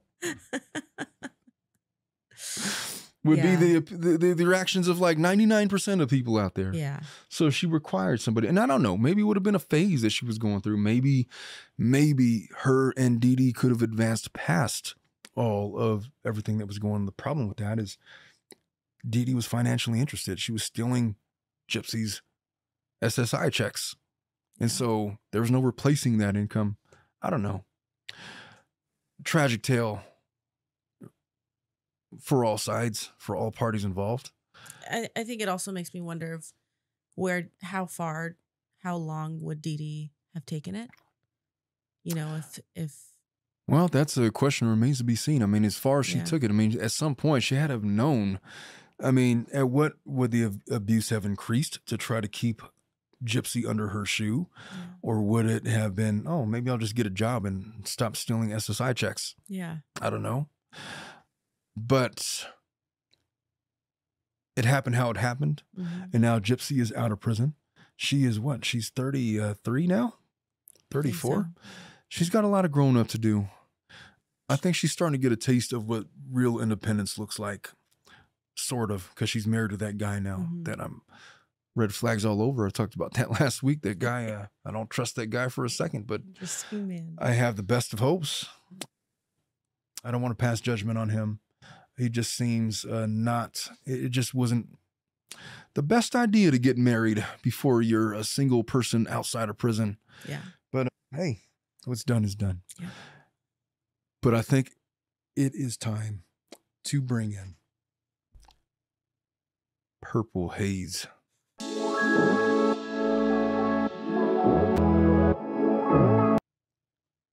Ha!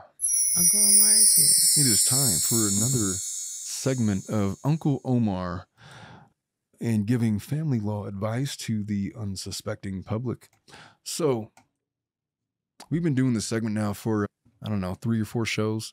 And it's kind of this tail end thing that we do. We're trying to make it a separate thing and we're building up steam for it. But I've said many times when I first did this podcast, it was intended to be giving legal advice to like family law folks or whoever. Yeah. It turned into this true crime thing, which I'm very grateful for because, you know, it's grown quite significantly. But here we are. But let's talk to this person who has a question. My husband wants a divorce. Now what? Well, let's see what she has to say. My life for the last four years has been hectic. I have a four year old daughter from previous relationship. Her father, my ex, continuously harasses us when he's out of jail. The police think he will murder me one day, so they have given me a panic button and go straight to the police cars if he comes around. I've been in a lawyer for over 10 years now. hmm I've never heard of the police giving a panic button to anybody. I was just gonna say, is that a thing? I've never heard of it. No. And Okay. so I don't know why she said that. Maybe it's true in wherever, whatever county she's in, but I'm going to, let's just roll with it. Um, my husband knew this all along going into our relationship. Oh, about the panic button, I guess. So for the first year, it was smooth. Uh, we got married quickly, three to four months into our relationship. We wanted to do something crazy. Then life got crazy. My daughter almost died four times being on life support, three times. She's a little miracle child. They have no idea what's wrong with her, and she is in many studies. It's not even fit. All right. Between her father going mental, I am currently taking him to court for full custody, zero interaction, and my daughter almost dying three times in a one year radius, I shut down. I stopped being intimate sometimes. We went one to two months without. I started arguing with my husband, which in turn made me not want to be intimate. He told me to go to couples counseling for the last six months, but in Canada, the wait for government mental health is over a year. Jesus Christ. That's probably why she had a panic button. She's in Canada. That makes more sense. I had I know nothing about panic buttons in Canada. Okay. They care about their people. Also, they also have free health care over there, but maybe one of the drawbacks of that is you got a one year waiting list for mental health. yeah, that's crazy. I can't corroborate any of that, but let's Hmm. continue. Privatized healthcare is insane. Okay, so they do have. So he told me he wanted a divorce. He's no longer has feelings towards me. I did everything I could reason with him, and now I'm seeing a counselor through victim services. I miss him. I haven't given him much space since he left. It's hard when I ache to fix things, so I am going to start here. He's currently living on our other property where we have a farm, but he is 100% done. And I have no idea what how to win him back. I feel like he should understand why I shut myself down. It's not worth a divorce. Well, that's a tough one. There is a lot going on there. How long were they married? How long did I say they were married? I didn't hear it. So they had a four year old daughter from previous relationship. My daughter almost died three times. Okay, so there's yeah. It's not immediately clear to me how long they've been married. Uh, he wants a divorce, but they've been married. Okay. For the last four years, been hectic. Four year old from a previous relationship. Gotcha. Okay. So what do you think that I'm going to say to these folks?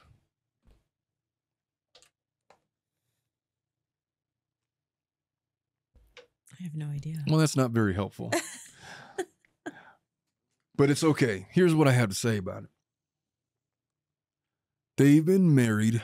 They were married three to four months after dating each other, which is ill advised. I have no idea how old this person is, and it doesn't matter. And let's assume they're somewhere in their late 20s, is what the way that this lady writes.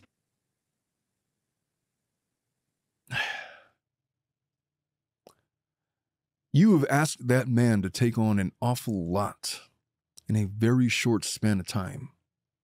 Yeah. Your daughter has mental health, or not mental, she has physical health issues, almost dying four times, that, which, you know, I trust that what you're saying is true. That's a lot to ask of anybody. And then you've shut yourself down because of things that you were going through. And and all the Mhm. while, you're asking him to that he should just understand why you shut down. And you know, with no consequence, you know, without serving any of his needs, without fully admitting because you're shutting down, you're necessarily not being the ideal wife for him, wondering why he wants to separate, having virtually no history together, a brand new marriage, and the prospects for everything honestly getting a lot worse. Yeah. Those health issues are not going away.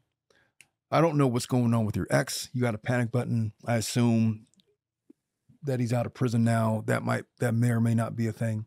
So you've asked this guy to not only take on your daughter and all her mental health issues and provide for you financially and deal with your crazy ex that is so crazy that you need a panic button.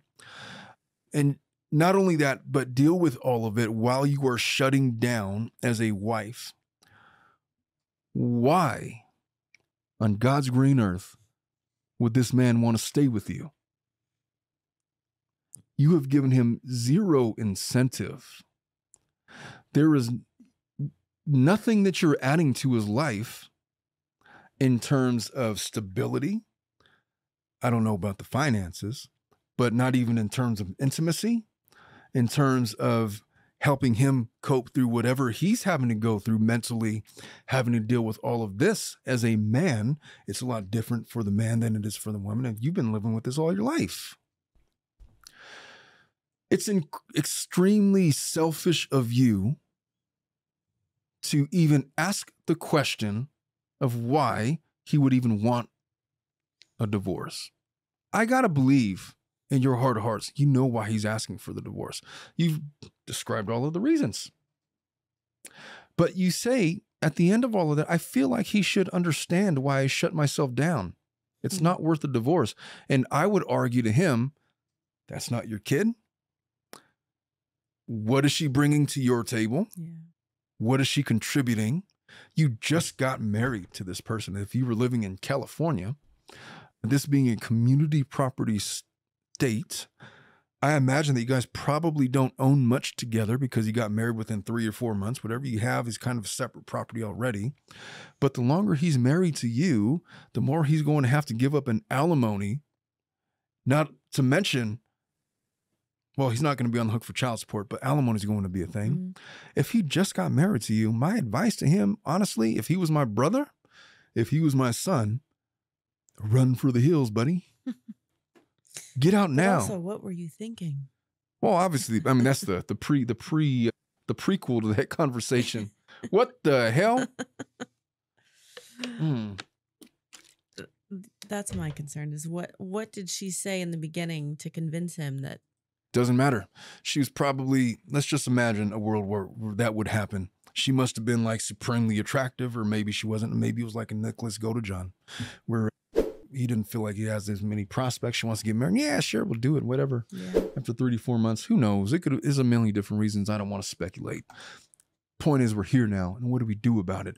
And she wants to know why uh, he doesn't understand what she's going through.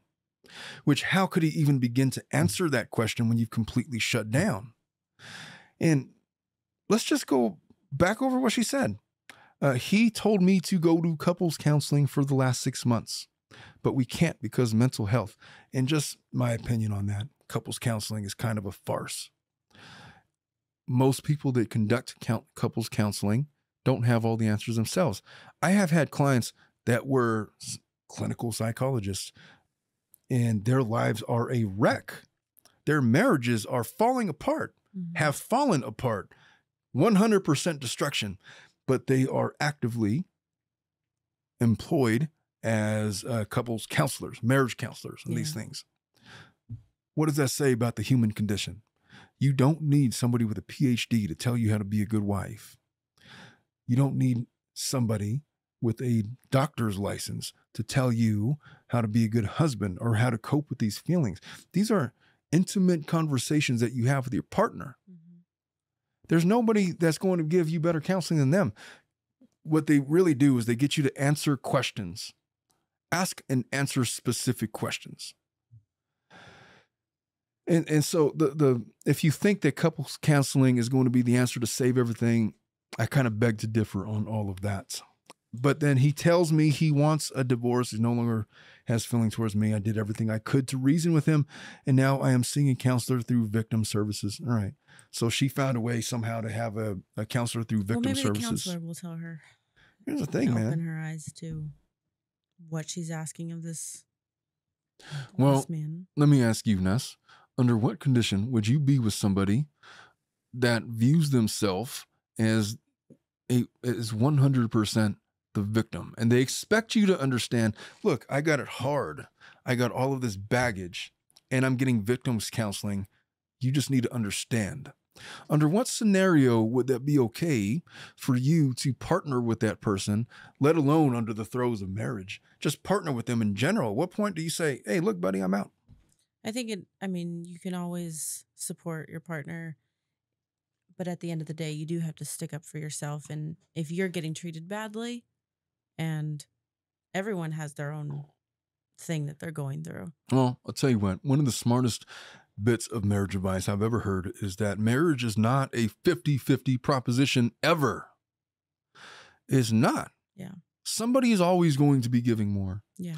And, you know, in the case of my marriage, there's some times when my wife doesn't have 50% to give me. Mm-hmm. Sometimes it's like 10%. I got to carry the other 90. I could do that for so far, Yeah. but there's going to be times where I don't got 90% to give you Of course. and then it shifts and it's always this back and forth if she's constantly asking him for 90% giving her 10% and expecting it to be enough it's not going Yeah. to go well especially in a new marriage now if you've built up 5 10 15 20 years of good currency where you've lived your lives and you've given given to each other Mm-hmm. and it's this extended period of time that might he needs to give you 90 you need him to give you 90% for years um, then fine but you haven't built up that savings in the bank with him. What he has signed up for is a victim and that is exhausting and you're not even intimate with him and he can't even talk to you about anything because of where you're at. You have nothing to give him or offer him. Of course he wants a divorce I think it's. I mean, at the end of the day, she doesn't respect him enough. It's all about respect. She doesn't respect. Well, thing about it is, she says he's 100% done. He probably is, and good for him. She says it's not worth a divorce. In his case, it might be worth a divorce because it might not be worth it to stay Mhm. because the longer he's in, the more he's going to have to give her ultimately in alimony in a community property state. And again, they're in California. I have no idea how it works over there. But let's just Canada. assume. Yeah, let's just say, look, if you're married for five years and you want to get a divorce, the person that's required to pay alimony, if at all, is presumed to be half the length of the marriage. If you're married for 10 years, then that expands to the rest of your life until you either remarry or you pass away, financially responsible for this person, or basically until you retire yeah. and you're no longer earning an income, then there's discussions to be had about that.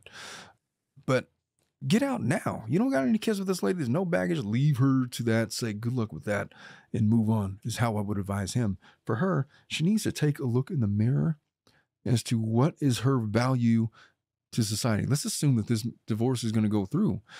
What is it that she has to offer anybody new? Yeah. This guy signed up to this for whatever reason, fine. Three months, three to four months, you guys are dating, you guys are in this new marriage. Great. But he gets in and he sees that you have zero to offer. What is your value as a woman? You have a kid with a guy that's went to prison and is now out to such a degree that you have a panic button to alert the police if he should show up on your door. Red flag number one. You have a child that has all of these health issues that is going to require probably lifelong care, extensive medical support, which is going to require finances. That's red flag number two. Yeah. On top of that, you want him to expect to understand why you're not giving him anything in the marriage because of all the things that you're going through. Well, that's just strike three. Yeah. I'm all the way out on that. What single man is going to sign up for that? And if they do sign up for that, what does that say about them and their value as a man and their discernment of character? Yeah. She's going to continue pl- to play that victim card with anyone that walks walks through the door until you know, hopefully she gets some counseling and someone can help her see that. Well, counseling on that, but I think that she's getting counseling on the wrong thing. She needs to get counseling. There's two f- forms of counseling. There's counseling as in, oh, I'm so empathetic to your cause and give me all of your trauma and I want to know all about how it hurts you. Mhm. And then there's the other part about, you know what, stop being a bitch and come on. Enough of all of that. I need that kind of therapist. Why don't you just grow? Look, I need you to grow a pair, and we need you rub some dirt on it. We got things to do. It's time to pick up and get going. Yeah. She needs that kind of counseling. Yeah. Because if you're going to walk through your entire life, I apologize for hitting the table. I know that sounded wonderful on the on the mics.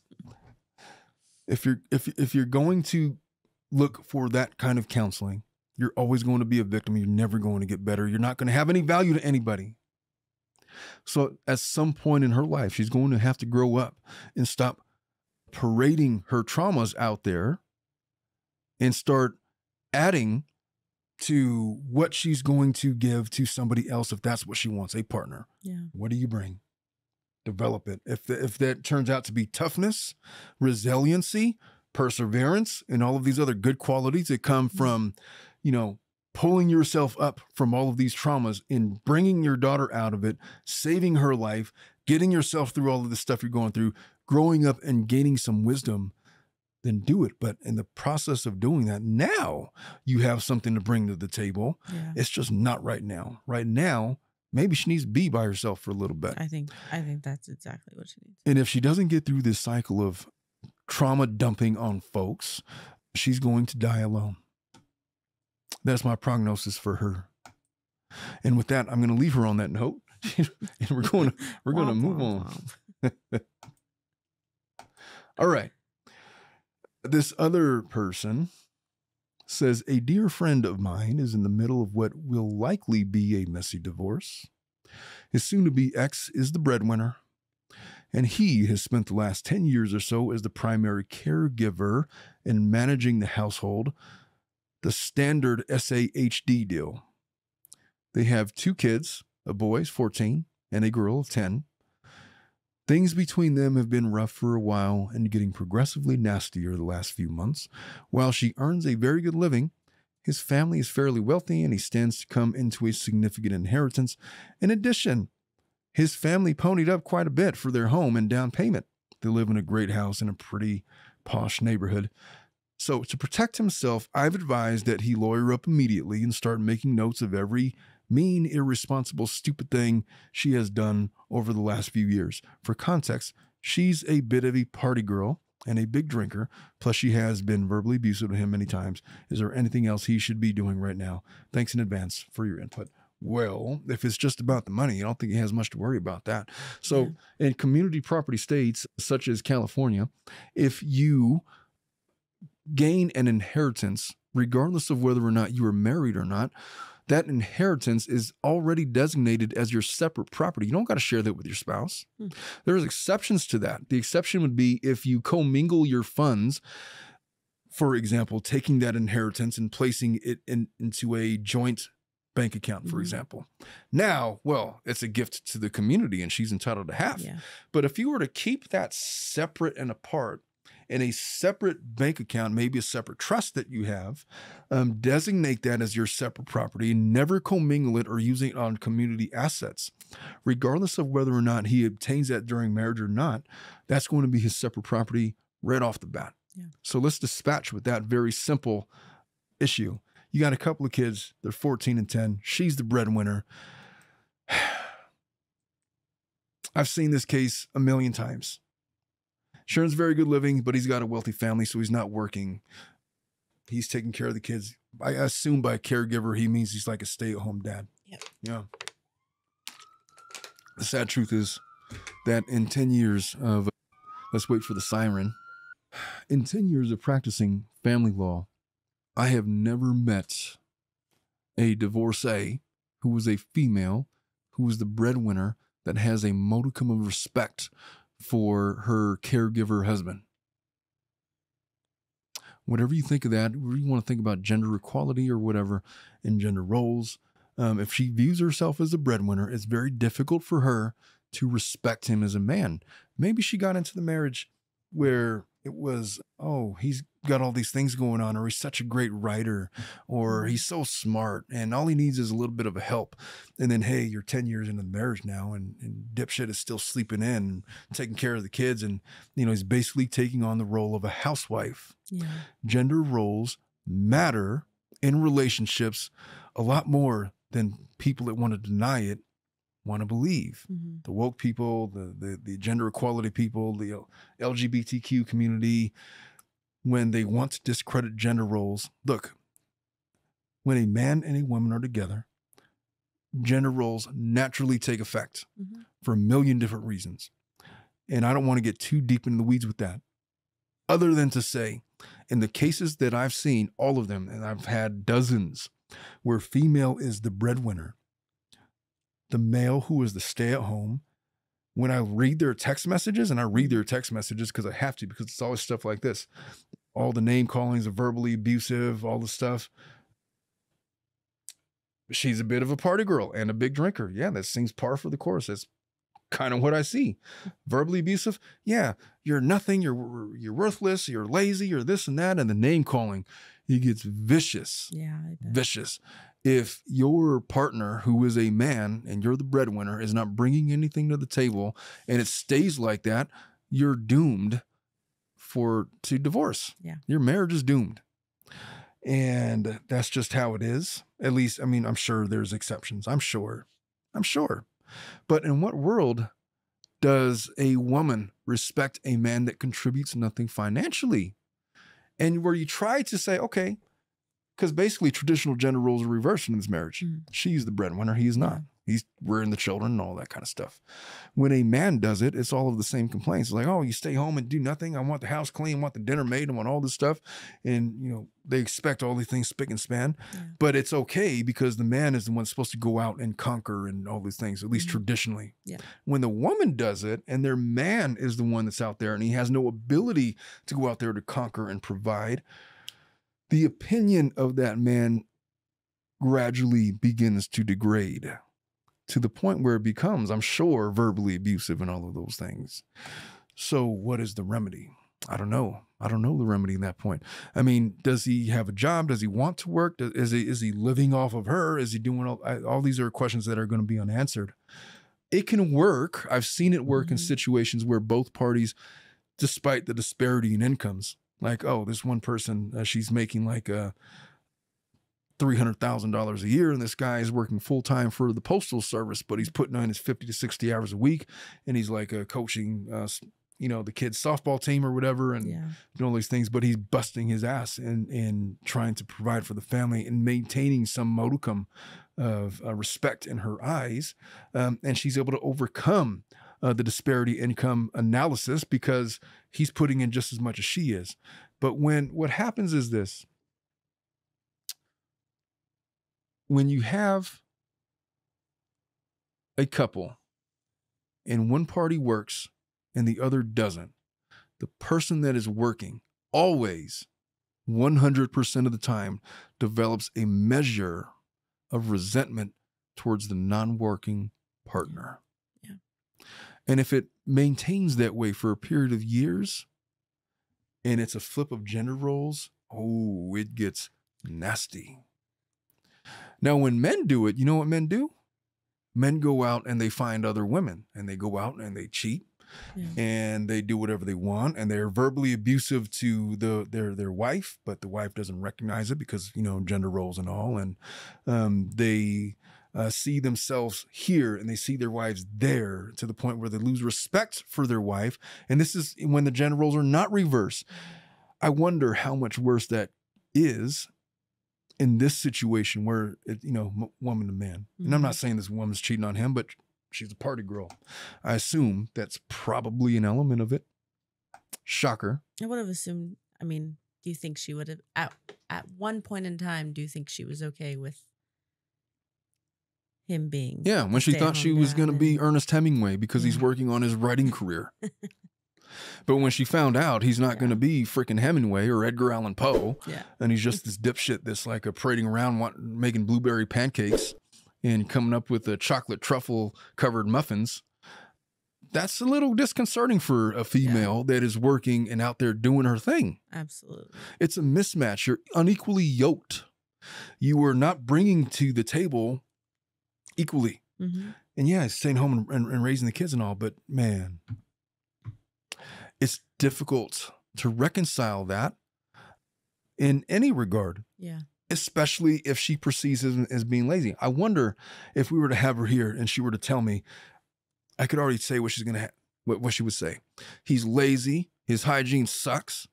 He sits at home all day and like he he cooks and like the house is always a mess. And I'm having to pay all the bills and he gets us in his debt and he's running up the credit cards and you know I don't respect him anymore because he's he's, he's just whatever. I, I I could hear it ringing in my ears. hmm And so, is there anything he should be doing right now in terms of his inheritance? No. But if they're getting ready to get divorced, here's what you got to start preparing for. All right, 10 and 14 years old, who's going to take the kids?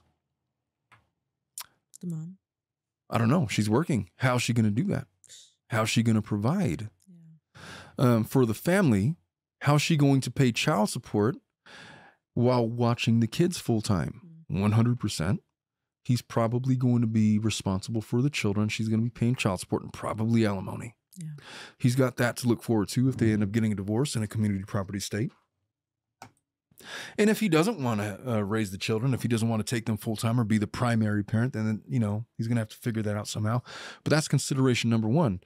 That's always the most complicated part of all of this. What happens with the kids? What happens with custody and visitation? It's difficult to work that out. Yeah. The finances usually always work themselves out. Whatever you guys acquire during marriage, you're going to split down the middle. Retirement accounts, cars, houses, all of those things. Whatever. And here's the thing: when you're when you get married, and this is maybe part of the reason for some of the resentment. hmm Every dollar that you make while you were married, unless there is a prenuptial agreement that says otherwise, every dollar that you make is 50% your partner's. Mhm. You split it down the middle. So he's benefiting from all of that.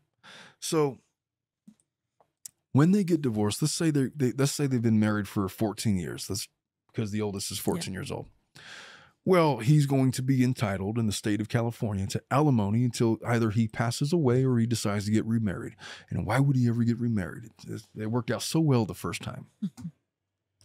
in addition to that, he's going to get child support based on their incomes, their percentage of time uh, that they spend with the children. There's this whole formula that they go by, and every state's different. But California has a what they call guideline support, and so they figure all of that out. He's going to be getting alimony. He's going to be getting child support. We could split the assets, and his inheritance is untouchable. So I would say there's not really a whole lot that he has to worry about. Yeah. Matter good. of fact, he should probably just, if he thinks it's going to go, if he doesn't want to salvage the marriage, just get divorced now. Yeah. There's no reason to wait. Do it now. If you want to, if he wants to stay married, however, he's going to have to start making some changes with himself. What would you suggest that he change? I mean, being a stay at home parent is a job in itself. So I'm not going to discredit that. Well, not to discredit it, because I'll tell you yeah. what, I cannot be a stay at home parent. There's no effing way I could stay at home all day long with the kids, washing them by myself. Whoever does that, you have the patience of a saint. Yeah. How do you do that and keep your sanity? It is beyond, it, it is much easier to do my job than to be a, a stay at home parent. Yeah. 100%. I admit. The problem with that is if she doesn't know that or think that, hmm it doesn't matter what I think. The reality of it, the realities of it doesn't matter. And that could even be true, Yeah. but how many men disparage their wives who are stay at home moms because they don't work? Yeah. Do you think that that analysis is any different when it, when you flip the genders? Because I guarantee you, she oh I'm a stay at home uh, I'm a stay at home mom and you know I'm, I'm or I'm a stay at home dad I'm taking care of the kids. At some point, she's going to be resentful because of all of the things that she has on her plate, on all of uh, the.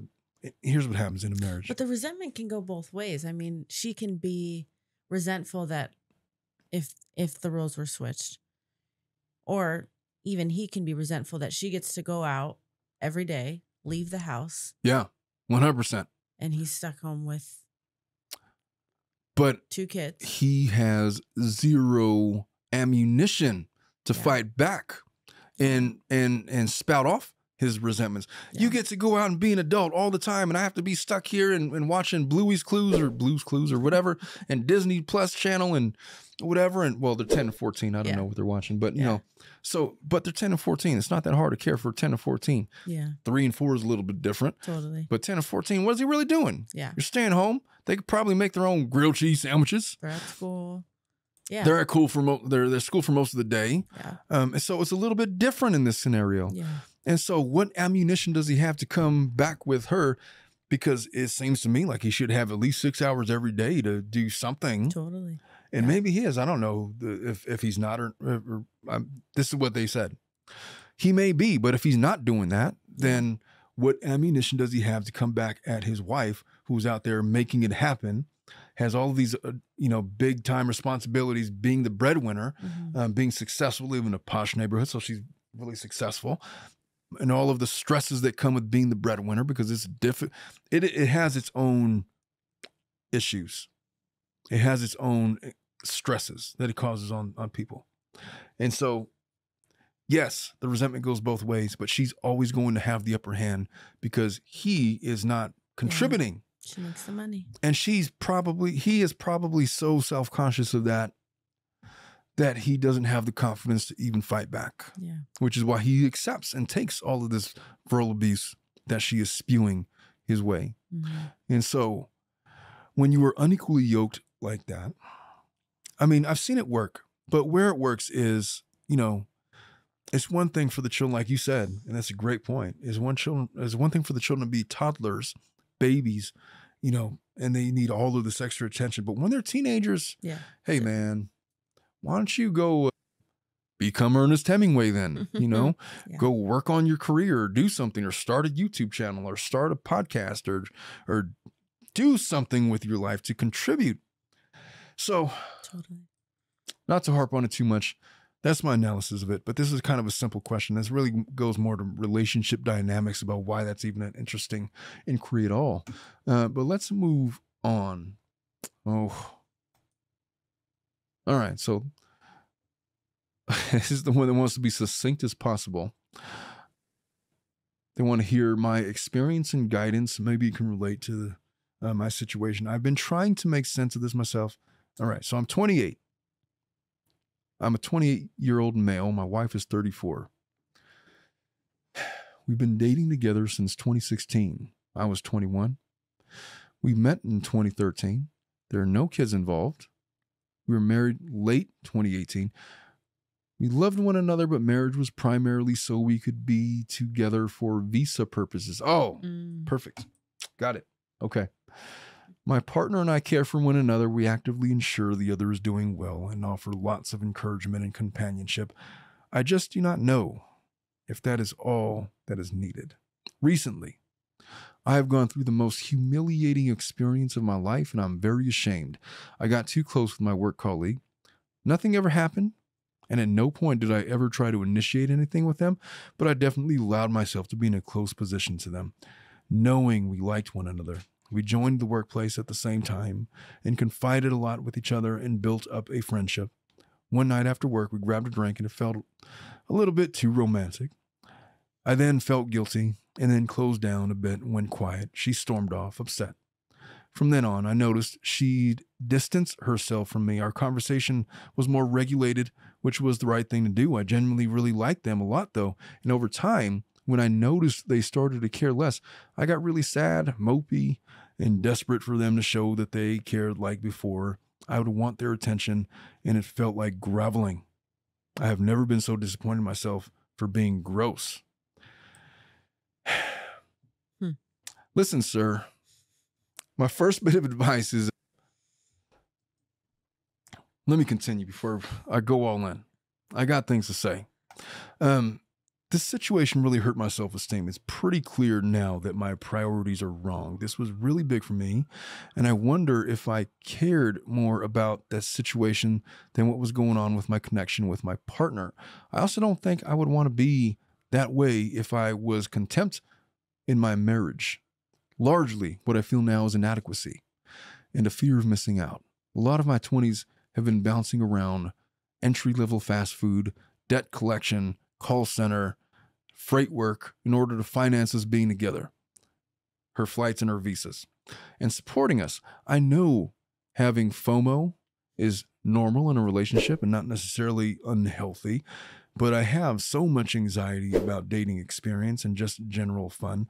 Throughout the years, I have had to compromise on holidaying with friends, camping trips, nights out, dating. Minus the situation above, I've never entertained any adventures from others. All right. He wants us to view him as this noble person Yeah. that has the best of intentions. I can tell that my partner's starting to get desperate.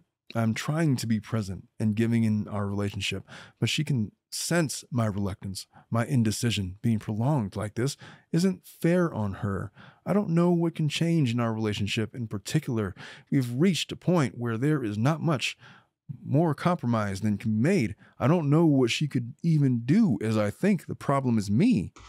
I feel that marriage is just good enough, and I'm comfortable with its familiarity.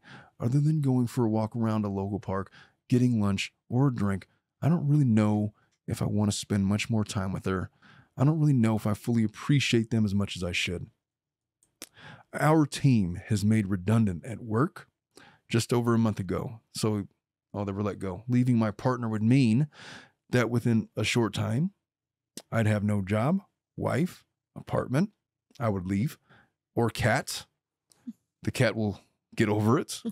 I would live with my friends while I look for work. I've been dealing with depression, ADHD, anxiety, stroke. Oh, give me a break. All right. I need a drink.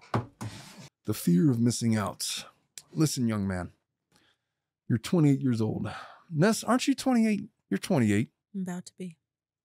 Getting old. I know. Not as old as you though. Well, it Well. goes without saying. All right, your wife is 34, you're 28. Y'all got married. Been together since 2016. When you were 21, you met in 2013. Yeah, been together for a while. No kids, thank God. Married in 2018. It's been about six years now. Uh, loving one another. So So his early twenties, he Yeah. was locked down.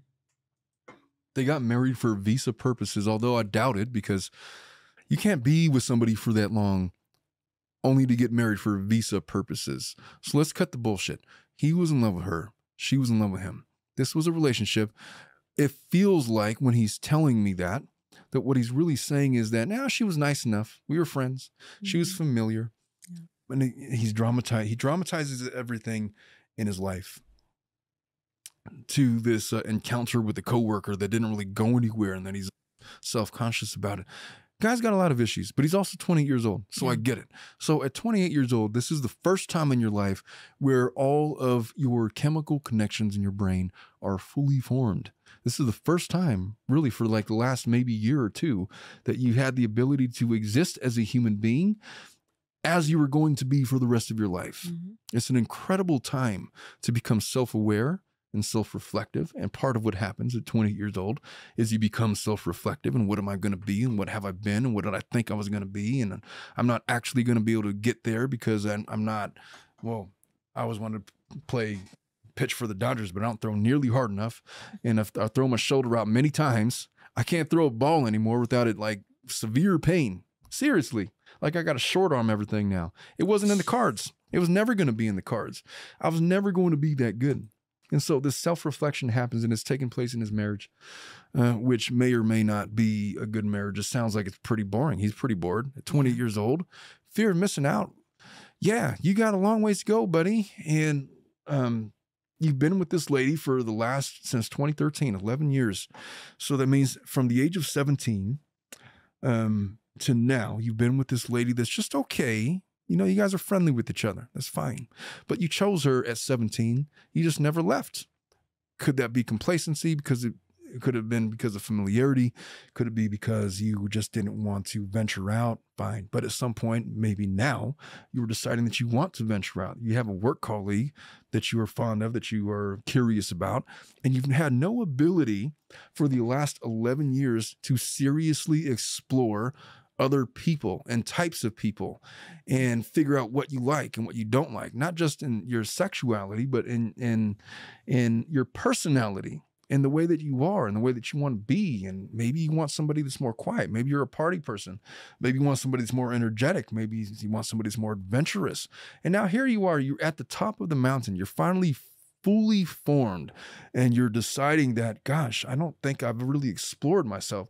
Of course you haven't because you're a child. At 28 years old you were a child and you're playing grown folks business and you got married to this girl because it helped her out. You guys rationalized to yourself that hey should we get married? But if i do you could become like a citizen and all this and mm. the visa and fine.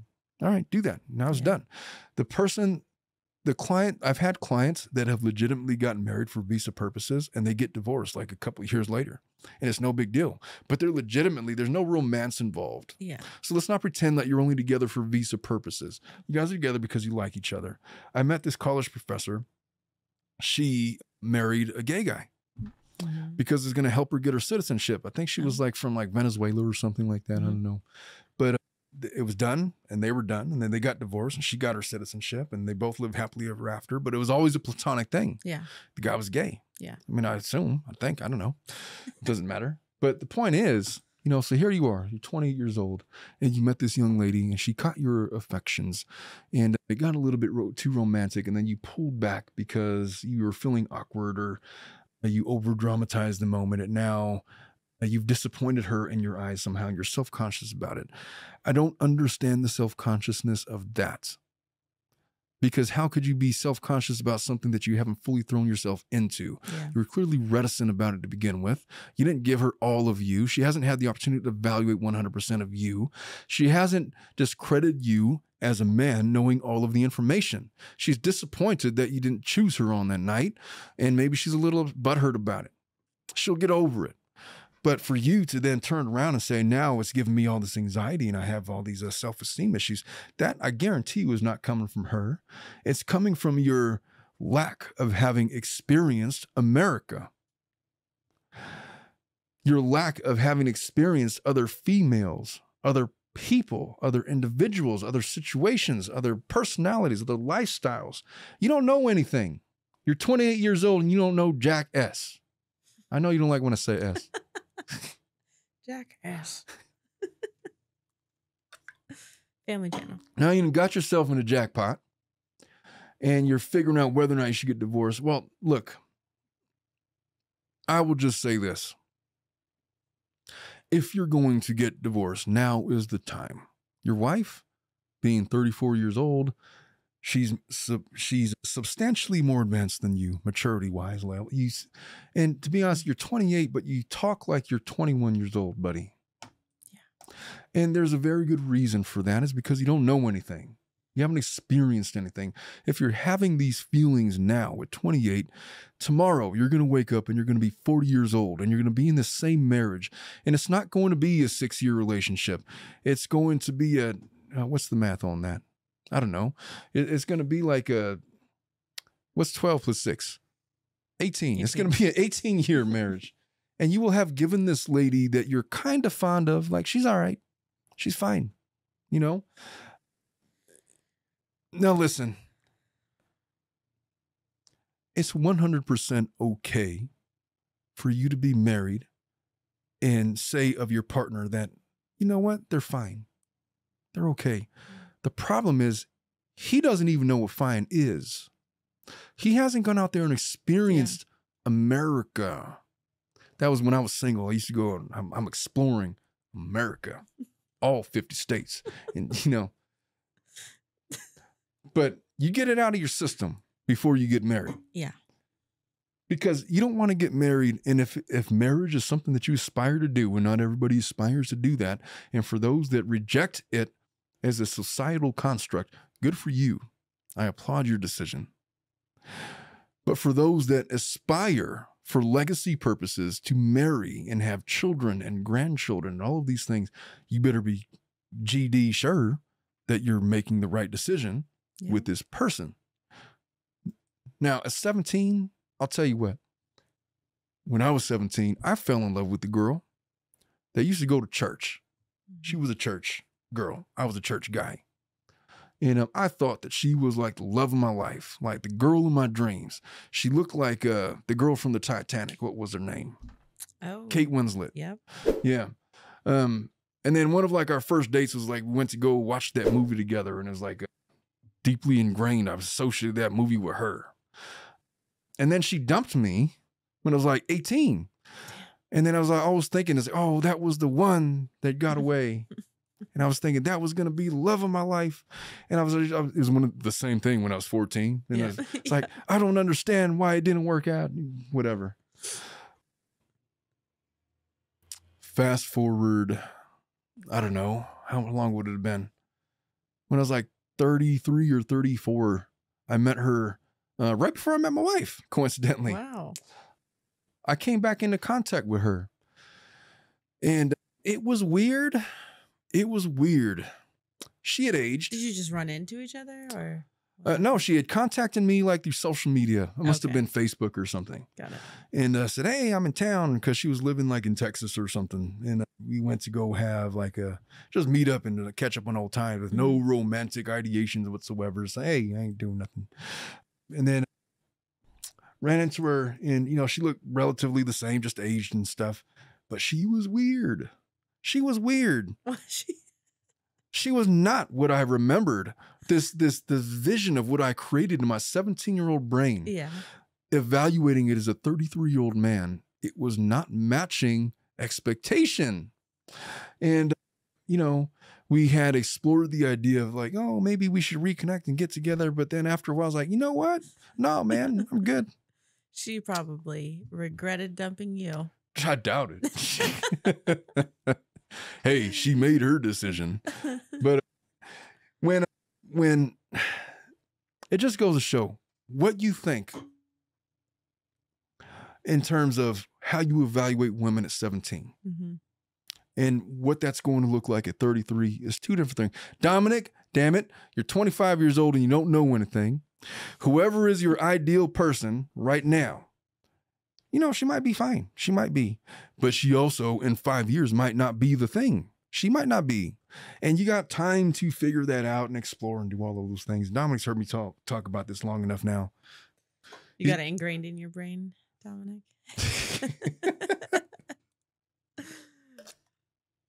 The point being, he doesn't know what he's like. He hasn't experienced all of those things.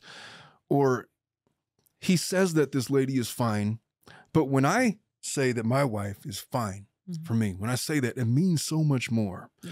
because I have surveyed the landscape and I know what I wanted and I know what I want. Yeah. And I have no curiosity about what's out there.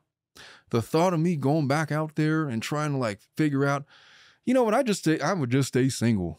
Yeah, no, There is no chance. you got it good. It is so unappealing to me, the thought of that. But the only reason I could get there is because I got it all out of my system. Yeah. You know, I, I had those. I've made my my mistakes. I've explored. I've done these things. I've grown as a man and as a person, and I developed my likes and my dislikes. Mm. And what I like is very specific. I'm very ingrained. Nobody's changing me for shit. When my wife met me, there was no changing who I was. Who I was. I was already what I was going to be. And she met me like 35 or 34 or 35. I don't remember. It was 2015. um, and what I am then is who I am now and is who I'm going to be in 20, 30 years. And she was like 29. So she was coming out of her fully formed stage. And I could tell you with all 100% confidence that what she is now is what she was back then. And it's not going to change. I mean, she's older now. She's getting older Yeah. but she has permission to do that with me. She her looks could degrade because they don't degrade to me; they could have degraded the rest.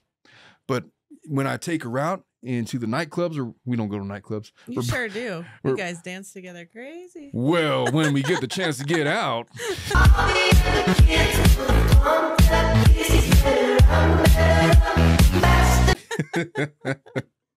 You guys have your fun. but that doesn't ever, you know, when it happens, we, we go out and we go party. But she has permission to get old without consequence with me. Yeah. I have permission to get old and and fall out of shape and and whatever is going to happen to me as I get older. Mhm. And but you get there by going on your journey and figuring out what your partner is going to look like. Yeah. Because for you to say, Ness, for you to tell me at 27 years old that, oh, this person is, she's okay, she's fine, that means that you're searching for something that you're not seeing. Yeah. But for me to say it at 43, what I'm telling you is she's exactly what I was looking for and exactly what I want. Mhm. And there's no change in my mind. And the only distinction is the journey. The journey, and I don't know anything about your journey, but I don't want to know. The, the, the only distinction is the only distinction is having gone through the battlefields and being having your ideologies about the opposite sex or the same sex or whatever it is tested through fire and making your mistakes and breaking a few hearts and having your heart broken a few times. Mhm. This guy's anxieties, his self esteem issues, I guarantee you are rooted in his inexperience. Oh. Do you think I have self esteem issues? I have none. Mm. I don't give a shit. Do you think I got a weird voice? I got a weird voice. Do you think I, I have weird interests? I got weird interests. I don't I don't give a S. I am who I am. And what I am is what I'm going to be. And I, I make no apologies for it. Self-esteem issues are I hesitate to say this, but I feel like self-esteem issues are an issue of maturity that in some people never gets weeded out. Mhm. But if you talk to older folks, when they get older, myself at 43, Mhm. perhaps yourself at 28, Yeah. whatever insecurities you had at 18, they don't follow you into your 40s unless Yeah. you've never dealt with them. Yeah. But when you talk to people in their 80s, you think they give an S about how you think don't. their suspenders are falling uh, over their shoulders? Come on, man. No. No. It's, it's so. I don't know if it's the goal in life to get to that point, but self esteem issues, when somebody leads with that, when they Mhm. say that that's the reason that they're considering leaving their spouse, I have to believe that there is development issues there, that there is issues in maturity, that there is issues in finding yourself. Now, this other stuff, this guy's dealing with depression, ADHD, anxiety, stress, trauma, and family events. You've just described 99% of the world's population, sir. So stop dramatizing all of your issues. It's not that serious. Look, Yeah. I'll take you out. We'll go out, we'll have a beer, we'll have a heart to heart, we'll have a talk. I'll point you in the direction of some unsuspecting woman and, and send you off. The point is, you need to live your life, sir. Yeah. If you're thinking about divorce now, the best thing you could do for your life is to cut the ties now. Do it now. Do it now because if you if you're having those thoughts now and you're having this FOMO thing, which is something that happens within experience. I have zero FOMO. Yeah. I know what I'm missing out on. I'm good with it. I'm good with it all. I have mm-hmm. no desire to go back into that pool of filth. You could you could have it. You could have it. Yeah. But if you're feeling that now, you're going to wake up, you're going to be 40 years old, and it's not going to have gone away because you would have never dealt with it. And your wife, your poor wife, is going to be at that point 46 years old. And you guys are getting older. And, you know, she deserves to be with somebody that is with her to be with her, not because of visa purposes, not Mhm. because he felt inconvenient. She deserves to be with somebody that she has explored the landscape and she's made her selection. Yeah.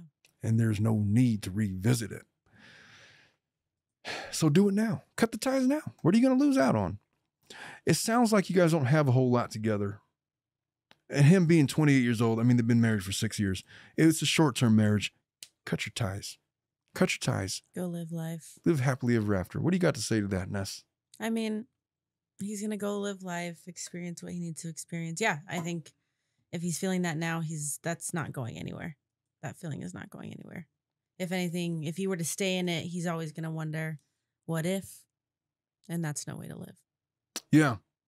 Yes. So I think we are fully settled on that question. Ladies and gentlemen, we have been recording now for two hours and 38 minutes. Whether or not it ends up to be exactly that time depends on Dominic's editing skills. We will see. He has been duly praised for his editing work on the his one month as the producer of the Tilt Lawyer podcast. He's getting a lot better and, and a lot familiar with our style of show, and he's starting to make it his and bring his own style to it. I especially liked when he I talked about my wife sounding like a pterodactyl and he, and then Threw in a pterodactyl. no, he threw in a puppy. Oh, And I'm like, what do you mean a puppy? I said pterodactyl, sir. he's covering you. Yeah. He's covering you. And then there was a point in the show, there was a point in the show where I was like, hey, I was making fun of his his choice of drinks. So I put we're, we're gonna have some Templeton rye with some Diet Coke because Dominic needs to stir it with his tampon or something, or whatever, or, or he needs a little umbrella. And then he flashed a picture of of himself with the drink. I with the little that. umbrella. That was great. But That then I'm was like, great. hey Dominic, WTF, man? Like it's like he's sitting standing at the gym. Is that your gym selfie? Are you flexing your biceps, sir? Is that your With Tinder your profile umbrella. picture with this fruity umbrella drink? oh, that was great. Oh, but I'm very pleased with the direction that the show was taken. And it, uh, for all of you that have stayed with us this long, thank you so much for staying with us. Yes. I know we got a lot to say. It's, I'm, and I, I appreciate it so much if you're listening in your cars, if you're listening at the gym, if you're listening at work. Um, people told me that They fall asleep to you. there's this law firm in Detroit. I know there's people that said that, but there's people that said they have this law firm in Detroit and they say, I just have you on in the background because it's so soothing. He's like, oh, well, thank you. Wow. So what she basically said is that I sound like I, the more that I talk, I'm going to put them to sleep. I don't know if they take that as a compliment or anything or something else. you but- got the radio voice. I. Well, among other things, when I do my intro, Ileana said that it sounded like a porn intro. you sounded like the 1 800 sex hotline. Hey, call the Tilted Lawyer podcast for in depth conversation about your feelings and expectations. Well, mom thought when she first heard your intro and you say "and join me," she thought she said she thought you said "enjoy me." She was like, "Did he just say enjoy me?" Like, What the hell? no, no." this is a family show. By the Oh, way, man. by the way, mom had thoughts for Dominic. She said, "Hey, he should do this, this, and that." And like, well, why don't you write Dominic a letter? You oh, should Oh, write him an email. give him all of your critiques. It's like I'm gonna send him some links about these other podcasts, and he should get some ideas. Like, yeah, do all of that.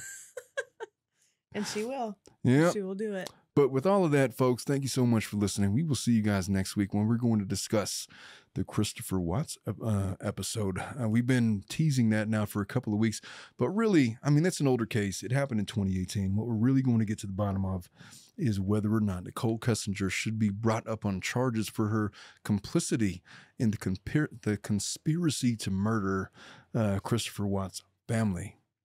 And uh, that's going to be a deep episode, but we're gonna hit that next week. Until then, we see you guys. We will see you guys next week. Bye bye.